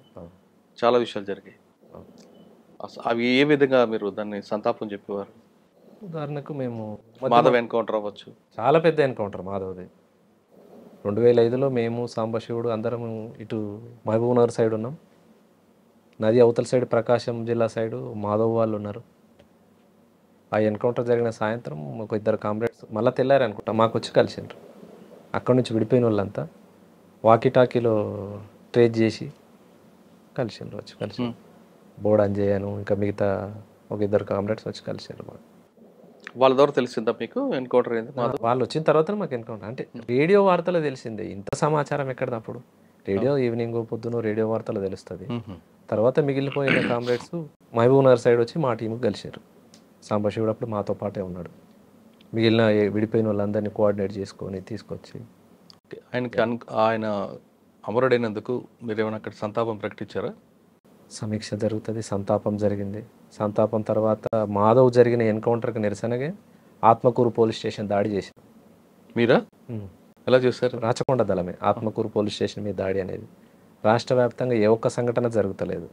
అయితే మన ఏరియాలో చేద్దామని చెప్పేసి ఆత్మకూరు నల్గొండ జిల్లా ఇప్పుడు భువనగిరి పక్కన ఆత్మకూరు ఉంటుంది మోత్కూరు పక్కన.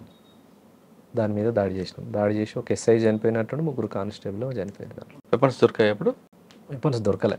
ఓకే. మనకున్న సమాచారం ఏంటంటే దాంట్లో స్ట్రాంగ్ రూమ్లో వెపన్స్ ఉంటాయి కానీ డిపార్ట్మెంట్ తక్కువనే ఉంటారు దాంట్లో. ఒక ఆరేడు మంది ఉంటారు. ఎస్ఐ దగ్గర మాత్రం పిస్టల్ ఉంటుంది. లోపల త్రీ నాట్ త్రీ వెపన్స్ ఉంటాయి కానీ అవి వాడరు స్ట్రాంగ్ రూమ్లో ఉంటాయని సమాచారం. ఆ విధంగా దాడి చేసినాం పోలీస్ స్టేషన్ కొంత బ్లాస్ట్ చేసినాం కానీ ఆ స్ట్రాంగ్ రూమ్ తీయలేకపోయినాం. మాధవ్ ఎన్కౌంటర్కి రిటాలిషన్ చేశారు. ఆ విధంగా ఇంకేమైనా చేశారా? అదొక్కటే ఆత్మకూరు పోలీస్ స్టేషన్ ఒకటే దాడి చేసినాం దాడి చేసి ఒక ఎస్ఐ దగ్గర పిస్టల్ వచ్చింది. మిగతా ముగ్గురు కానిస్టేబుల్ ఏమో చనిపోయినట్టున్నారు. ఎస్ఐ ఎవరు అప్పుడు? మహమ్మద్ జిలానీ. ఓకే. ఎస్ఐ మీకు టూ వీలర్లు అని ఎక్కడ దొరికేవండి అప్పుడు సంబంధించిన వాళ్ళు మన వాళ్ళు ఉంటారు కదా అంతా మిలిటెంట్స్ సానుభూతి పరులు వాళ్ళయే. పుట్టల్లో కూడా చాలా ర్యాష్ డ్రైవింగ్ చేస్తారు సుభాష్ అంటారు. అట్లా ఏం లేదు అందరితో పోయినట్టే అన్నట్టు. కానీ బాగా పేరుంది కదా. నాకు బయట వెహికల్ అసలు డ్రైవింగే రాదు. పార్టీలో పోయిన తర్వాతనే డ్రైవింగ్ నేర్చుకున్నారు. కానీ ఆ గుట్టల్లో చాలా ఫాస్ట్ డ్రైవింగ్ చేసి చేయగల సమర్థుడు సుభాష్ అని పేరు పోలీసులు దేవలమ్మ నాగారం దగ్గర ఒకసారి ఎంటపడ్డారు అయితే నేను దొరికి గుర్తుపట్టారా వాళ్ళు? ఆ, గుర్తుపట్టలే. మురళి నేను సిటీకి వేరే పని మీద వెళ్ళినాం. మురళి అంటే మెదక్ జిల్లా అతను. పోయి బండి మీద వచ్చి బైక్ గుట్ట కింద పెట్టి మేము పైకి వెళ్ళిపోయినాం. పైకి వెళ్ళిపోయినప్పుడు అక్కడ చుట్టుపక్కల ప్రాంతాల బర్లకాడుల్లో లేకుంటే జీవాల దగ్గర ఎవరో చూసిండ్రు. సమాచారం ఎటో పోయింది. దాదాపు జీవాల కాడులు పశువుల కాడులు చెప్పరు. పార్టీకి పూర్తి పట్టు వాళ్ళే. కానీ అదేందో మరి అంటే ఎవరో జరిగి ఉంటుంది. జరిగింది లీక్ అయింది. ఆ రోజు గుట్ట మీద దళం ఉన్నది ఉన్నాం. తెల్లారి పొద్దునే లేచి ఇక కాలకృత్యాలు తెచ్చుకొని బయటికి సెంట్రీ చూసేటప్పుడు బర్రెలు వరుసగా వస్తున్నాయి బర్రెలు వస్తున్నాయి అని అన్నారు. అదేంది నల్లగా వస్తున్నాయి అని అన్నారు మనోళ్ళు. బర్రెలు అయి ఉంటాయి సరిగా చూడరు అని. బర్రెలు కాదు ఏదో తేడా కొడుతుంది అని అనుకున్నాం. ఇంకొంచెం దగ్గర బైనాక్యులర్ పెట్టి చూస్తే కూమింగ్ టీం వస్తుంది. అటు వస్తురా మన దిక్కు వస్తురా కనిపెట్టురా అని చెప్పాం. కరెక్ట్గా మేము బండి ఎక్కడైతే కింద పార్క్ చేసినామో ఆడికే వస్తున్నారు అక్కడికే వస్తున్నారు. ఇది బాగలేదు బండి దొరికితే బండి ఇచ్చిన ఆయన పని అవుతుంది అవును. అప్పటికప్పుడు నేను సివిల్ అయ్యి షార్ట్ వెపన్ పెట్టుకొని కిందికి వెళ్ళిపోయినా. నేను గుట్ట దిగి దగ్గర కొట్టాలి వాళ్ళు వచ్చేసారు బండి దగ్గరికి. ఓకే. ఆ బండి తీసుకోలేకపోయినా. బండి వాళ్ళు పట్టేసుకోరు. వాళ్ళని చూసి నేను కొంత అటు చెట్టు నుంచి అటు చూసి అటు అటు జరిగిన. ఫైరింగ్ స్టార్ట్ అయింది. అట్లా మేము తెచ్చిన బండి వాళ్ళు పట్టుకోగలిగారు ఇంకా ఆ రోజు నేను బండి నడిపింది ఏం లేదు. నైట్ వచ్చినాం ఆడ పెట్టినాం. ఫైరింగ్ కొట్టుకుంటా వాళ్ళే అటు జరిగారు నేను చెట్ల చెట్ల నుంచి గుట్టెక్కి వెళ్ళిపోయినా. అదే బండి వేసుకొని ఒక కిలోమీటర్ దాకా వాళ్ళ బండి మీద పోతూ ఫైరింగ్ కొట్టిరు వాళ్ళే? వాళ్ళే. అంటే నేను ఎటు వెళ్ళిపోయినా అనేది స్టేట్ బాటంట ఉరికినా అనేది వాళ్ళు అనుకున్నారు కానీ నేను బాటంట పోలే. ఇటు గుట్టెక్కిన. సిటీలో కూడా వచ్చేవారాడు కదా? ఎందుకు? హైత నగర్ వనస్థలపురం ఎల్బీ నగర్ వరకు? ఎవరి కోసం అప్పుడున్న పార్టీ నిర్ణయం ప్రకారం ఏమైతే టార్గెట్లు ఉంటాయో ఆ టార్గెట్ అంటే సిటీలో రావడం వల్ల ఎక్కడ లీక్ అయితే మీకు ప్ర- ప్రమాదం కదా? ఉంటుంది. మరి ఎందుకు అంత సాహసం చేయాలి పార్టీ నిర్ణయం మేరకు? పార్టీ నిర్ణయమే. వ్యక్తిగతం ఏముంటుంది ఎక్కడ సిటీలో ఎక్కడెక్కడికి వచ్చేవారండి సిటీ లోపల వరకు వచ్చినాం. ఆల్మోస్ట్ వనస్థలపురం ఏంది? పంజాగుట్ట వరకు కూడా వచ్చినాం. మనకు అనుకున్న టార్గెట్లు రీచ్ కాక కొంత ఆ విధంగా వచ్చి మిస్ అయినట్టు ఎవరున్నారా? ఈ లోపట వేరే పనుల మీద వచ్చినాము. టార్గెట్ అంటే సంగీ దగ్గర అనుకున్నాం. సంగీ మరి వాళ్ళ అన్నదమ్ములలో ఎవరికో గన్మెన్ ఉండేది. ఆ గన్మెన్ స్టెన్ కార్బన్ వెపన్ ఉండేది. కొడితే మనకు వెపన్ అన్న వస్తుంది కదా అనే ఆలోచనతోటి ఆడ కొట్టాలనుకున్నాం. మేము నాలుగు రోజులు అంటే తాళ్ళు ఎక్కేటోళ్ళు నల్గొండ ప్రాంతం నుంచి వచ్చి సంగి ఏరియాలో తాడి చెట్లు బాగుంటాయి. వాళ్ళ గుడిసెలలో ఉన్నాం. నాలుగు రోజులు ఉన్నాం. నాలుగు రోజులు వాళ్ళు రాలేదు. అదొకటి మిస్ అయింది. ఇంకా ఇంకొకటి డిఆర్డిఎల్ దగ్గర సెక్యూరిటీ ఉంటుంది కదా. వాళ్ళ దగ్గర ఎస్ఎల్ఆర్లు ఉన్నాయని చెప్పేసి మనకు మిత్రుడు చెప్పిండు ఇక్కడ ఎవరో సెక్యూరిటీ ఉంటున్నారు ఆ టార్గెట్ చేస్తే మనకు ఒక ఐదో నాలుగో ఎస్ఎల్ఆర్లు వస్తాయి అనే సమాచారం ఇస్తే మన వాళ్ళు అంటే డిఆర్డిఎల్ అని తెలియదు. ఆ కామ్రేడ్ వచ్చి జిల్లా కమిటీ వాళ్ళకి చెప్పినందుకు జిల్లా కమిటీ వాళ్ళు నాకు చెప్పి నువ్వు ఒక టీం వేసుకొని పో అక్కడ ఏదో నాలుగైదు వస్తాయట మనకు ప్రయత్నం చేస్తే అనేసి అంటే టీం ఎంగేజ్ అయ్యి వచ్చినాం తీరా చూస్తే డిఆర్డిఎల్. అక్కడ కొట్టి మనం ఎక్కడ ఎస్కేప్ అవుతాం ఇది కష్టం అసలు. మన పని అవుతుందని చెప్పేసి దాన్ని రిట్రీట్ చేసుకున్నాం. అందులో భాగంగా అంతకన్నా ముందు రెండు వేల ఐదు కంటే ముందు హైతనగర్ రిక్కీ చేసినాం. Hayathnagar police station. Keesara police station. Maheshwaram police station. Kandukur police station. Outskirt జిల్లాలల్లో అంటే సిటీ అవుట్స్కట్స్ ప్రాంతాల్లో ఉన్న ఈ పోలీస్ స్టేషన్లో రిక్కీ చేసుకున్నాం. ఈ ఐదు పోలీస్ స్టేషన్లలో ఏదో ఒకటి దాడి జరగాల్సి ఉండే. కానీ లోపల నల్లమలలు ఎన్కౌంటర్ అయ్యి అప్పుడున్న స్టేట్ కమిటీ మెంబర్ చనిపోవడం రకరకాలుగా కొత్త డిస్టర్బెన్స్ జరిగి ఆగిపోయినాయి. లేకపోతే ఈ ఐదు పోలీస్ స్టేషన్లలో జరిగేది. మీరు పంజాగుట్టపు వచ్చి షాన్బాగ్ దగ్గర ఒక centre committee member Takkadipalli Vasudevarao alias Ashan కలిశారని వార్త ఉంది వాస్తవం అంటే ఆశన్ అనే అనేది నాకు తెలియదు ఇప్పుడు పార్టీ పలానా మనిషిని మీరు కలిసి రావాలి మాట్లాడేది ఉంది పోయి రండి అని అంటారు. పోయి వస్తాం. వచ్చారా? పోయి కలిసి ఉంటాం. కానీ తన ఆశన్ అనేది ముందు చెప్పరు. వచ్చిన తర్వాత కలిసారా లేదా? కలిసిన కానీ తాను ఆశన్ అని నాకు కూడా తెలియదు ఇప్పుడు సుదర్శన్ ఒకసారి కలిసిండు. అంతకుముందు ఇంకో స్టేట్ కమిటీ అతను ఒకసారి కలిసిండు. అట్లా చాలా మంది కలిసిండ్రు.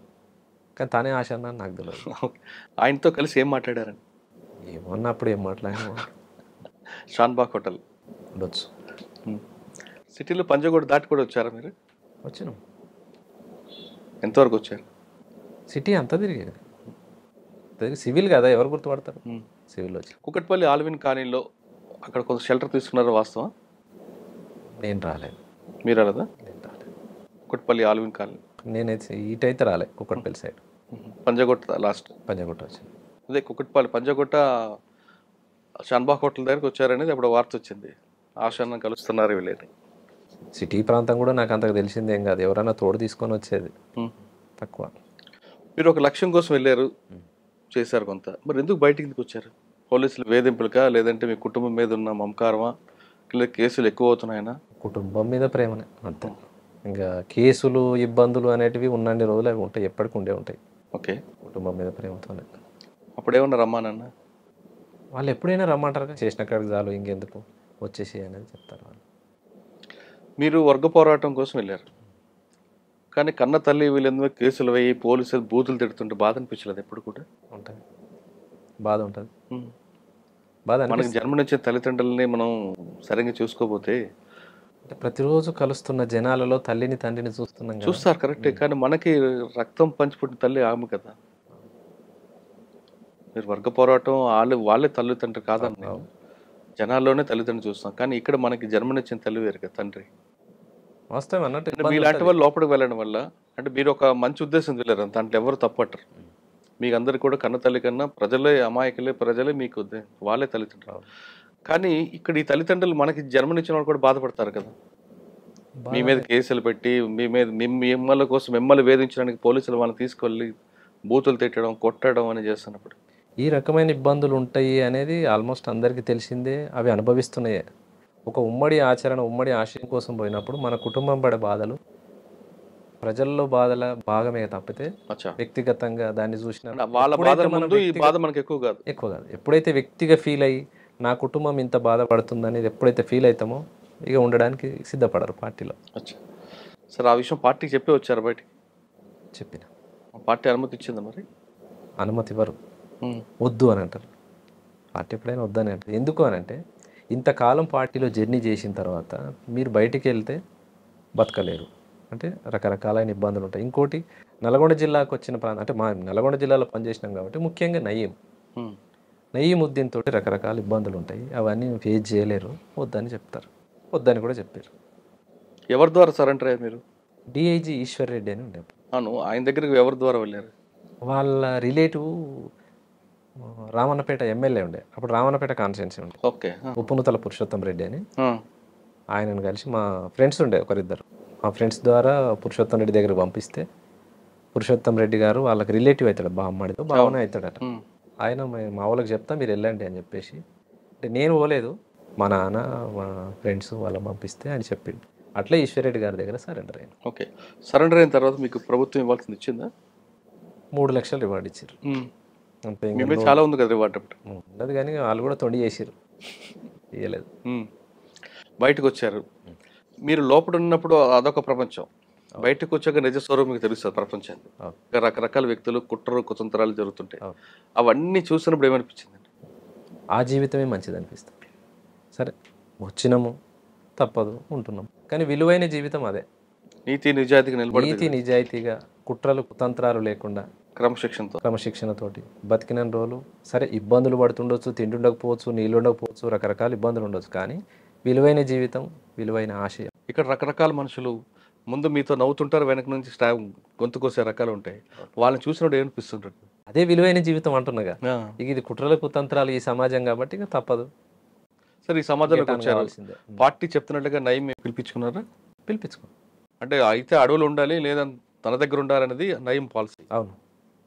మీకు పిలిచి ఏం చెప్పాడండి పిలిపించుకున్నాడు. పిల్- ఎవరైతే డిపార్ట్ నేను సరెండర్ అయ్యానో సరెండర్ అయిన దగ్గర నుంచి ఏ అయితే ఆఫీసర్ ఉన్నాడో అప్పుడున్న ఆఫీసరు తనే తీసుకుపోయి వాళ్ళ కారు ఎక్కించిండు. అవునా? అంతే కదా. పోలీసు వాళ్ళే తీసుకుపోతారు. డిపార్ట్మెంట్ వాళ్ళే తీసుకుపోయి ఎవరు ఒక ఆఫీసర్? ఉండే ఒక అతను. ఇంకా పేరు ఎందుకు కానీ. ఆయన తీసుకెళ్ళి కారు ఎక్కించాడు? తీసుకుపోయాడు. తనే తీసుకుపోయి కారు ఎక్కించాడు. మాట్లాడిండు. అంటే మామూలుగా వచ్చినప్పుడు ఫస్ట్ మా ఇంటి దగ్గర నుంచి సిటీ పోదాం రా అని చెప్పిండు ఆఫీసర్. ఎందుకో సిటీ పోదాం అంటుండు అని డౌట్ అనిపించింది కానీ తప్పదు. పోలీస్ ఆయనే కదా రమ్మంటున్నాడు పోదాం అనేసి వెళ్ళి వెళ్ళిన తర్వాత కార్ ఎక్కించుకున్నాడు. సరెండర్ ఇవాళ పంతొమ్మిది తారీఖు సరెండర్ అయితే ఇరవై రెండో తారీఖే నన్ను నయం కప్ప చెప్పాను ఇబ్రహీంపట్నం నుంచి ఎల్బీ నగర్ వచ్చింది. ఎల్బీ నగర్ నుంచి ఉప్పలు మలుతుంది కారు. ఉప్పలు మలుతున్నప్పుడే నాకు లైట్ వెలుగుతూనే ఉంది. అమ్మ ఇది తీసుకుపోతుండే అటే పోతుంది అని ఉప్పలు తీసుకొని ఉప్పల్ నుంచి బీబీ నగర్ క్రాస్ అయింది ఇటు మళ్ళీ. బీబీ నగర్ దాకా పోలేదు కానీ ఉప్పలు దాటి బోడుప్పల ప్రాంతానికి వచ్చినప్పుడు ఈయన కారు ఆగింది. ఇంకో కారు ఎక్కినాం. ఇంకో కారు ఎక్కింది ఇంకో కారు ఎక్కినాం. మూడు కార్లు మారినాం. ఫస్ట్ కార్ నుంచి సెకండ్ కార్కి మారినప్పుడే నా ఫోన్ తీసేసుకుంటారు. వాళ్ళ దగ్గర హ్యాండ్ ఓవర్ చేసుకుంటారు. మనిషిని పూర్తిగా చెక్ చేసి ఆ బండి ఎక్కించుకుంటారు. అట్లా నాలుగో కార్లో తాను ఉన్నాడు. నయం. నయం. కారు ఎక్కంగానే నమస్తే అన్న అన్నాడు. నమస్తే అన్న అంటాడు. ఇప్పుడు చంపుతున్న నిన్ను అన్నప్పుడు కూడా అన్నానే మాట్లాడతాడు నయం. అవును. ఆ టైప్ ఆఫ్ మనిషి. గుర్తుపట్టినవా అన్న అని అన్నాను గుర్తుపట్టినా నిన్ను గుర్తుపట్టని వాళ్ళు ఎవరు ఉంటారు రాష్ట్రంలో? గుర్తుపట్టినా? ఎట్లా ఎక్స్పెక్ట్ చేసినావు? ఇటు వస్తున్నాను అర్థమైందా అని అంటే ఎల్బీ నగర్ నుంచి కారు మళ్ళినప్పుడే అనుకున్నానా? మీ దగ్గరికి వస్తుంది ఉమ్. అని చెప్పేసిన. ఇక మాట్లాడిండు. కొద్దిసేపే ఒక పది పదిహేను నిమిషాలు మాట్లాడి అన్న మీకు తర్వాత నేను మళ్ళీ కలుస్తా. ఇప్పుడైతే మంచిగానే ఉండు. మీ కుటుంబం గురించి నాకు అంతా తెలుసు. పేద కుటుంబము. బయటకు వచ్చినావు కదన్నా మరి ఎట్లా బతకాలనుకుంటున్నావు?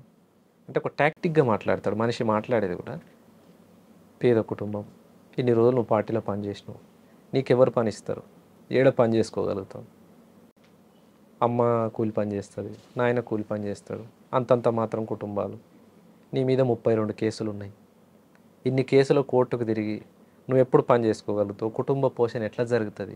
ఇదంతా నీకు సాధ్యమా? అంటే మనిషిని ఒక గీత గీసి తను ముందే గీసుకున్న గీతలో దింపాలనే ప్రయత్నంగా మాట్లాడతారు మాట్లాడాడు సరే ఇక ఆయన మాట్లాడండి. ఆయన మాట్లాడేదానికి చెప్పే సమాధానం చెప్పిన సరే అన్న పోతాను. సరే ఎల్లు అని ఒక పదివేలు ఇస్తున్నాడు. నాకు వద్దన్నా ఎందుకన్నా నా మీద కోపం తగ్గలేదా అంట. నీ మీద నా నాకేం కోపం అన్నా నా పైసలు తీసుకుంటలేవంటే నా మీద కోపం ఉన్నట్టే. నాకెందుకన్నా పైసలు అన్న నీ పరిస్థితి నాకు తెలుసా అన్న నువ్వు పేదరికంలో ఉన్నావు బయటకు వచ్చినావు నీ ఖర్చులు ఉంటాయి తీసుకో పదివేలు అని నాకు వద్దన్నాడు అయితే నన్ను చంపాలనే వచ్చినావు నువ్వు బయటకు అంటాడు. నేను బతకాలని బయటకు వచ్చినోని నిన్ను చంపాలని నేనెందుకు అనుకుంటా? నాకేమంత పని? చేసిన రోజులు చేసిన ఇక చాలు అనుకొని నేను బయటకు వచ్చిన. నిన్నెందుకు చంపుతా? మరి నా డబ్బులు ఎందుకు తీసుకుంటలేవు? నా డబ్బులు తీసుకుంటలేవంటే నా మీద పగ ఉంది నీకు. ఇలా కాకుండా ఇంకా నాలుగు రోజులకైనా నువ్వు యాక్షన్ టీమే కాబట్టి ఒక నలుగురిని వేసుకొని నన్ను చంపుతావు నువ్వు. ఇట్లా మాట్లాడతాడు అమ్మ ఎందుకు వచ్చిన వాళ్ళు సరే ఇయ్యన్న అని చెప్పేసి. తీసుకో అట్లా ఒక ఐదు ఆరు సార్లు పిలిపించుకొని కలిసిండు. ఆ టైంలో పార్టీలో జరుగుతున్న విషయాల గురించి అడిగాడు? అడుగుతాడు? అడుగుతాడు. ఏం జరుగుతుంది? నా తన గురించి ఎవరెవరు ప్లాన్ వేస్తున్నారని విషయాలు? స్టేట్ కమిటీ ప్లానింగ్ జరుగుతుందా? సాంబశివుడి గురించి కూడా అడిగాడా? అందరి గురించి అడుగుతాడు ఇక. తన టార్గెట్లో ఎవరెవరైతే నాయకత్వం ఉన్నారో ఆయనకు లిస్ట్ ఆఫ్ ఉంటుంది. లిస్ట్ ఏదైతే రాసుకుంటాడో. ఎవరెవరి గురించి అడిగాడు ఆయన? స్టేట్ కమిటీ మెంబర్లు ముఖ్యంగా ఎవరెవరు ఉన్నారు? సిటీ కమిటీలో ఎవరెవరు ఉన్నారు? వాళ్ళ పేర్లు అడుగుతాడు ఆయనకు సంబంధించిన పోలీస్ ఆఫీసర్లు ఉన్నారు కదా ఇంట్లో ఎవరైనా మీ టార్గెట్ ఉన్నారా? రేపు తొంద అతి తొందరలో జరగబోయే యాక్షన్ ఏది? ఇవన్నీ అడుగుతాడు. చెప్పారా మీరు భయపడి? కొన్ని చెప్పాల్సినవి చెప్తాం తప్పదు మరి. పులి నోట్లోకి వచ్చినాం. అవును. తప్పదు చెప్పి పులి మీద కూర్చున్నారు. అదే పులి దగ్గరకు వచ్చినాం. కాదంటే అది కరుస్తుంది మిగుతుంది బతకాలని బయటకు వచ్చిన వాళ్ళు. ఎవరి గురించి చెప్పారు అప్పుడు ఆఫీసర్ టార్గెట్? ఇప్పుడు కొంతమంది ఉండే ఇంకా వాళ్ళ పేర్లు చెప్పేసినాం. ఇంకా వాళ్ళ ఏమన్నాడు? ఆ విధంగా ఎన్నిసార్లు కలిశారు? ఐదారు సార్లు కలిసినాం. ఇక్కడ అక్కడే? అక్కడే ఏం కాదు. ఒకసారి ఏమో ఐదు సార్లు కూడా పోలీస్ ఆఫీసర్లు తీసుకెళ్ళారా? ఆయన డైరెక్ట్గా వచ్చేవాడా? ఫస్ట్ సారి కలిసినాం పోలీస్ ఆఫీసర్. తర్వాత తన మనిషిని పంపేది. రెండోసారి కలిసినప్పుడు తను ఒక ఫోన్ ఇచ్చిండు. ఫోన్ ఇచ్చేది. ఎప్పుడు మాట్లాడినా ఈ ఫోన్తో మాట్లాడన్నా. నేను అశోక్ రెడ్డి అని చెప్తా లేకుంటే దినేష్ రెడ్డి అని చెప్తా ఐపీఎస్ అని చెప్తా పోలీస్ ఆఫీసర్ అని అట్లా పరిచయం చేసి చేసుకుని ఒకసారి మార్కాపురం దగ్గర కలిసిండు ఒకసారి ఏమో అద్దంకి దగ్గర కలిసిండు ఒకసారి మిర్యాలగూడ దగ్గర. మీరు ఎందుకు లేరటు తానే పిలిపించుకుంటాడుగా. అచ్చా మార్కాపురం. మనిషిని పంపిస్తాడు. ఫోన్ ఉంది కదా. అన్న నువ్వు పలానా దగ్గరికి రావాలి అంట. రానంటే ఇంకో బాధ. సరే అన్న ఏడికి రావాలి మరి? అంటే పలానా ఓవైసీ హాస్పిటల్ దగ్గరికి రా మనోడు ఒక మెంబర్ ఉంటాడు నిన్ను అప్రోచ్ చేసుకుంటాడు అని చెప్తాను హాస్పిటల్ దగ్గర రాగానే వాళ్ళు కలుస్తారు. మనల్ని చెక్ చేసి మన ఫోన్ తీసుకొని హ్యాండ్ ఓవర్ వేసుకుంటారు. వెళ్ళిపోతారు. ఎటు తీసుకుపోతురో చెప్పరు ఎప్పుడు మనల్ని వదిలేస్తురో చెప్పరు. అట్లుంటుంది. అలా మార్కాపురం అద్దంకి. ఒకసారి మార్కాపురంలో కలిసి ఒకసారి అద్దెం ఒక ఏమంటారు? ఐదు ఆరు సార్లు కలిసి ఏమంటాడు అప్పుడు? నా టీంలో పని చేయి లేదా పలానా టార్గెట్ పార్టీ చేస్తుంది. నీకేమైనా దాని మీద సమాచారం ఉందా? పలానా యాక్షన్ కోసం ఈ పోలీస్ ఆఫీసర్ని కొట్టడానికి వాళ్ళు వస్తున్నారు. నాకు ఇన్ఫర్మేషన్ ఉంది. నువ్వు వాళ్ళని గుర్తుపడతావా? నాకు తెలియదు అన్న ఆయన నీ నీతో పాటు ఉన్న వాళ్ళే నీకేం తెలియదు అంట నాకు తెలియదు అన్న నేను చూడలేదు వాళ్ళని. నేను ఒక నల్గొండలనే పని చేసిన కానీ మిగతా అన్ని జిల్లాలు నాకెట్లా పరిచయం ఉంటుంది? మార్కాపురం అంటే నల్లమల అవతల బార్డర్కి. వస్తుంది. నాకు పరిచయం లేదు. నేను అయితే. నాతో పాటు టీంలో పని చేయరాదని కూడా అడిగింది. నేను చెయ్యను అన్నాను నేను బతకాలని బయటకు వచ్చిన మళ్ళీ నేను పార్టీకి టార్గెట్ అవుతా నీతో పాటు పని చేస్తుండొచ్చు. పార్టీ నన్ను కానీ ఒప్పుకున్నాడా? ఎందుకంటే ఆయన ఎప్పుడు సరెండర్ నక్సల్స్ ఒకటే చెప్పేవాడు. అయితే అడవిలో ఉండాలి లేదా తన దగ్గర ఉండాలని. అట్లే ఉండదు. అట్లా కొద్ది మందినే. ఉండొచ్చు అట్లా కూడా చేసి ఉండొచ్చు. కానీ నాకు తెలిసిన ఒక ఆరేడు మంది కామ్రేడ్స్ని కూడా నేను చూసినా కానీ అంత ఒత్తిడి ఏం చేయలేదు. సామరస్యంగా పని చేస్తా అనుకుంటోళ్ళని పని చేయించుకుంటూ చేయను అనేటోళ్ళని వదిలేసి. అలా ఆరు సార్లు కలిశాడు.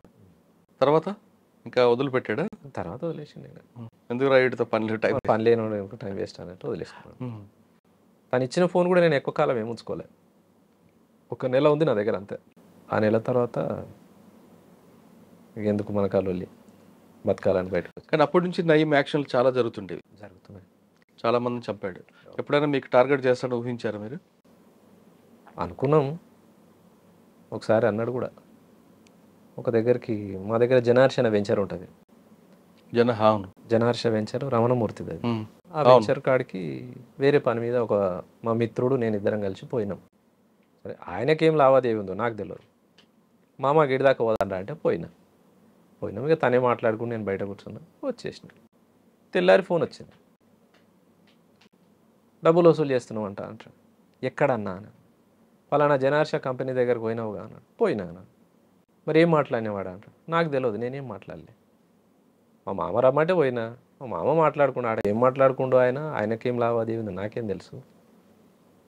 లేదు నువ్వు డబ్బులకే పోయినావు నువ్వు డబ్బులే వసూలు చేస్తున్నావు. నిరూపించన్నా. నేను నిజంగానే డబ్బులు అడిగినట్టు. నువ్వు నిరూపించు నువ్వు ఏ శిక్ష చేసినా నేను సిద్ధమే. నువ్వు వేడికి రమ్మన్నా వస్తా. అని చెప్పేసి చెప్పాను అయ్యే నువ్వు అట్లా ఇట్లా ఎక్స్ట్రా అని మాట్లాడండి. సరే అన్న మీ ఇష్టం. నేనైతే బయటకు వచ్చిన. మీకు దొరకని ప్లేస్లో అయితే లేను. నా ఇల్లు తెలుసు నేను ఏడుండేది తెలుసు అంతా మీకు తెలుసు. మీ ఇష్టం అన్న. ఇంకా అప్పటి నుంచి బంద్గా ఇంకా. ఫోన్లు లేవు మనిషి లేవు కానీ కొంతమంది మీ పేరు చెప్పి వసూలు చేశారని వార్త ఉంది అప్పట్లో. అవును వాస్తవం. వాస్తవం వాస్తవం. వసూలు చేసిండ్రు. అంటే మీకు తెలిసి జరిగింది? తెలియకుండా జరిగింది? మాకు తెలియట్లే తెలుస్తాయి. పార్టీ ఎవరిని కూడా సిద్ధపడదు అట్లా. అంటే మీరు చెయ్యరని ప్రోత్సహించదు. ఒకవేళ అట్లా మాకు తెలిసి తను చేసిండు అని అంటే మేము శిక్షించిన సంఘటనలు చాలా ఉన్నాయి. అంటే పార్టీలు ఉన్నప్పుడు కాదు కదా బయటకు వచ్చిన తర్వాత గువ్వల మహేష్ పేరు మీద దందాలు జరిగేవి అనేది వార్త. నాకు తెలియదు రియల్ ఎస్టేట్ మీరు చెప్పారు జనహర్ష రమణమూర్తి కానీ ఆపోజిట్ పార్టీ వాళ్ళ దగ్గర కానీ మిమ్మల్ని చూపించి వసూలు చేశారని. ఇక వాళ్ళు చేసుకున్న సంఘటనకు నేను ఎట్లా బాధ్యుని అవుతా అట్లా జరిగి ఉండొచ్చు నాకైతే తెలియదు తెలియక జరిగితే జరగదు సరే బయటకు వచ్చారు ప్రశాంత జీవితం గడుపుతున్నారు. అంటే మీ జీవన విధానంలో కొనసాగుతుంది. ప్రస్తుతానికైతే వ్యాపారం చేసుకుంటూ ఉన్నాం. ఏం వ్యాపారం? ప్లాట్లు బిజినెస్ ఒక నలుగురం కలిసినాం ఫ్రెండ్స్ ఒక ప్లాట్ వచ్చింది అనుకో తలా లక్ష లక్ష వేసి ప్లాట్ కొనుక్కొని దానికి కొద్ది రేట్ ఆ ఫ్లాట్లో ఒకవేళ వివాదం వస్తే మాజీ నక్సలెట్ అని చూపిస్తారు ఎక్కడ కూడా చూపించలేదు ఇప్పటి వరకు ఒక్క కేసు కూడా లేదు నా మీద. గుడ్ అప్పుడు నక్సలైట్లలో ఉన్నప్పుడు ముప్పై రెండు కేసులు తప్ప ఇప్పటి వరకు ఒక్క కంప్లైంట్ నా మీద ఒక్క కేసు కూడా లేదు. ఎన్ని సంవత్సరాల కాలం? అట్లా జరిగి ఉంటే ఎన్నో కేసులు అయ్యేటి అవును. అది రాకూడదని కోరుకుందాం ఎక్కడ కూడా నేను ఇప్పటి వరకు నేను చెప్పాను కూడా చెప్పాను. నా ఎమ్మటి ఉండే మిత్రులు కూడా చెప్పారు నా పేరు. అంత అవసరం కూడా లేదు. అది ఇంకా మంచిది ప్లస్ అది. బ్యాడ్ టైం ఉందో అక్కడి నుంచి స్టార్ట్ అవుతుంది మనం. అంటే హైదరాబాద్ ఈ ప్ర- ప్రాంతంలో ఉన్నాం కాబట్టి ఇప్పుడు నడుస్తున్న బిజినెస్ అదే. ఇంకోటి వాస్తవానికి ఏంటంటే ఉద్యమంలో పని చేసిన వాళ్ళం ఇంకో దగ్గర పని చేయలేము. ఒకరి కింద ఎట్లా చేయగలుగుతాం అనేది ఒకటి. కొన్ని ఈగోస్ ఉంటాయి. అక్కడ విలువలతో కూడిన జీవితం చూశారు. ఇక్కడికి వచ్చిన తర్వాత కొంతమంది చేతులు దాల్చడం ఇబ్బందిగా అనిపిస్తుంటది కదా? ఇబ్బంది అనిపిస్తుంది. వాస్తవమే. ప్రతిరోజు లేచి నుంచి పండుకున్న దాకా జరుగుతున్నాయి అన్నీ అవే కదా. కాదండి మీరు ఒక క్రమశిక్షణ విలువలు దాంతో ఉన్న ఉద్యమాలు పనిచేస్తారు ఆ పార్టీ నేర్పేది అది. ఇక్కడికి వచ్చిన తర్వాత ఆ విలువలతో ఉండాలనుకుంటే ఆత్మగౌరవం దెబ్బతింటది. ఆత్మగౌరవం ఉంది కదా అని మీరు కాముకుంటే ఆకలి వస్తుంది ఆకలి చంపుకోవడానికైనా ఆత్మగౌరవం చంపుకుంటారా? ఆత్మగౌరవం కోసం ఆకలి చంపుకుంటారా? అంటే సిద్ధాంతపరంగా అప్పుడున్న రాజకీయాలు ఆ విలువలతో ఇప్పుడు మనం బతకాలని అంటే నిజానికి కొంత ఇబ్బందికరమైందే. మరి ఎట్లా మనం బతకాలని చెప్పి ఇబ్బందులు పడి అవును. ఉండలేం కదా. అంటే విలువలను తగ్గించుకొని బతకాల్సిన అంత అవసరం ఏం లేదు. సరే ఇవాళ మనకు రూపాయి దొరుకుతుంది. ఆ రూపాయే చాలు. పది రూపాయల కోసం అడ్డదారులు దొక్కాల్సిన అవసరం లేదు. కరెక్ట్ దాంట్లోనే సర్దుకెళ్ళి దాంట్లోనే చదువుకుంటాం అన్న మధ్యమడుగు ఎన్కౌంటర్. సార్ చెప్పండి ఎలా చేశారు ఎలా జరిగింది ఆ రోజు ఏం జరిగింది? మధ్య అడుగు ఎన్కౌంటర్ అంటే మేము స్టేట్ కమిటీ ఏదో మీటింగ్ జిల్లా కమిటీ మీటింగ్ జరిగింది. నల్లమల ప్రాంతంలోనే జరిగింది. అంటే మధ్యమడుగు అవతల ప్రాంతం. అక్కడి నుంచి నల్గొండ టీం విడిపోయింది. విడిపోయి నల్గొండ టీం నల్గొండ జిల్లా కంటే కృష్ణపట్టి ఏరియాకి వచ్చేటప్పుడు ఇప్పలపల్లి టు మధ్యమడుగు మధ్యలో రోడ్ ఒకటే రోడ్ అది. రావడం పోవడం. వస్తున్నాం. దాటేటప్పుడు నైటు దాటలేమని చెప్పేసి మాతో పాటు ఇద్దరు కామ్రేడ్స్ జ్వరం వచ్చి పడుకున్నారు వాళ్ళు. జ్వరం ఉన్నది బాగా మలేరియా. అందరికి ఇబ్బంది నల్లమల మలేరియా వస్తుంది కామన్గా నడవలేని పరిస్థితిలో ఈ నైట్ ఇక్కడ ఉందాంలే ఈ నైట్ ఇక్కడ ఉండి పొద్దున రోడ్డు దాటుదాం అనుకున్నాం. తెల్లారింది ఐదున్నర ఆరు ప్రాంతంలో రోడ్డు దాటుతుంది దాటేటప్పుడు ట్రాక్టర్ తిరుగుతుంది రోడ్ ఎమ్మటి. ఒకటే సౌండ్ వస్తుంది. ఈ దగ్గర పట్ల అసలు పొలాలే లేవు. కానీ ట్రాక్టర్ సౌండ్ వస్తుంది. ఏదో సౌండ్ వస్తుంది ట్రాక్టర్ తిరుగుతూ ఉంది. పొలం దున్తుందని ఒక కామ్రేడ్. ఏదైనా ఉండొచ్చులే మరి దున్నకాలు రైతులు కట్టెలు ఎరువు సప్లై ఉంటాయి కదా అదేమనుకున్నాం. కానీ మా దగ్గరనే అటు ఇటు అటు ఇటు తిరుగుతూ ఉంది అది. ఇదేదో తేడా కొడుతుంది కొంత గమనించండి అని చెప్పేసి పైలట్ టీంను పంపించిన. ఎంతమంది ఉన్నారు ఇప్పుడు టీంలో? పదిహేను మంది ఉన్నాం. స్టేట్ కమిటీ ఉందా? మేమే రాచకొండ కృష్ణపట్నం నల్గొండ జిల్లాకు సంబంధించిన టీం ఓకే. వస్తున్నాం. పైలట్ టీంను ముందు పంపినాం. ముందు పంపితే చూసిండ్రు వాళ్ళు చూసి ఏం లేదన్నా ట్రాక్టర్ ఏదో పని మీద పోతున్నట్టుంది అని అని అన్నారు. సరే ఎందుకైనా మంచిది గమనించుకుంటా దాటండి అని చెప్పేసి రోడ్ దగ్గరకు వచ్చాం రోడ్ దగ్గరకు వచ్చి అందరం ప్యారలల్గా ఉన్నాం రోడ్కి. స్ట్రైట్ ఇట్లా కాకుండా ప్యారలల్గా కూర్చున్నాం. ఎవరి పొజిషన్లో వాళ్ళు కూర్చోండి ఎందుకైనా మంచిది. వెపన్ లోడ్ పెట్టుకొని కూర్చోండి అని చెప్పి. అని పైలట్ టీంని రోడ్ దాటించినాం.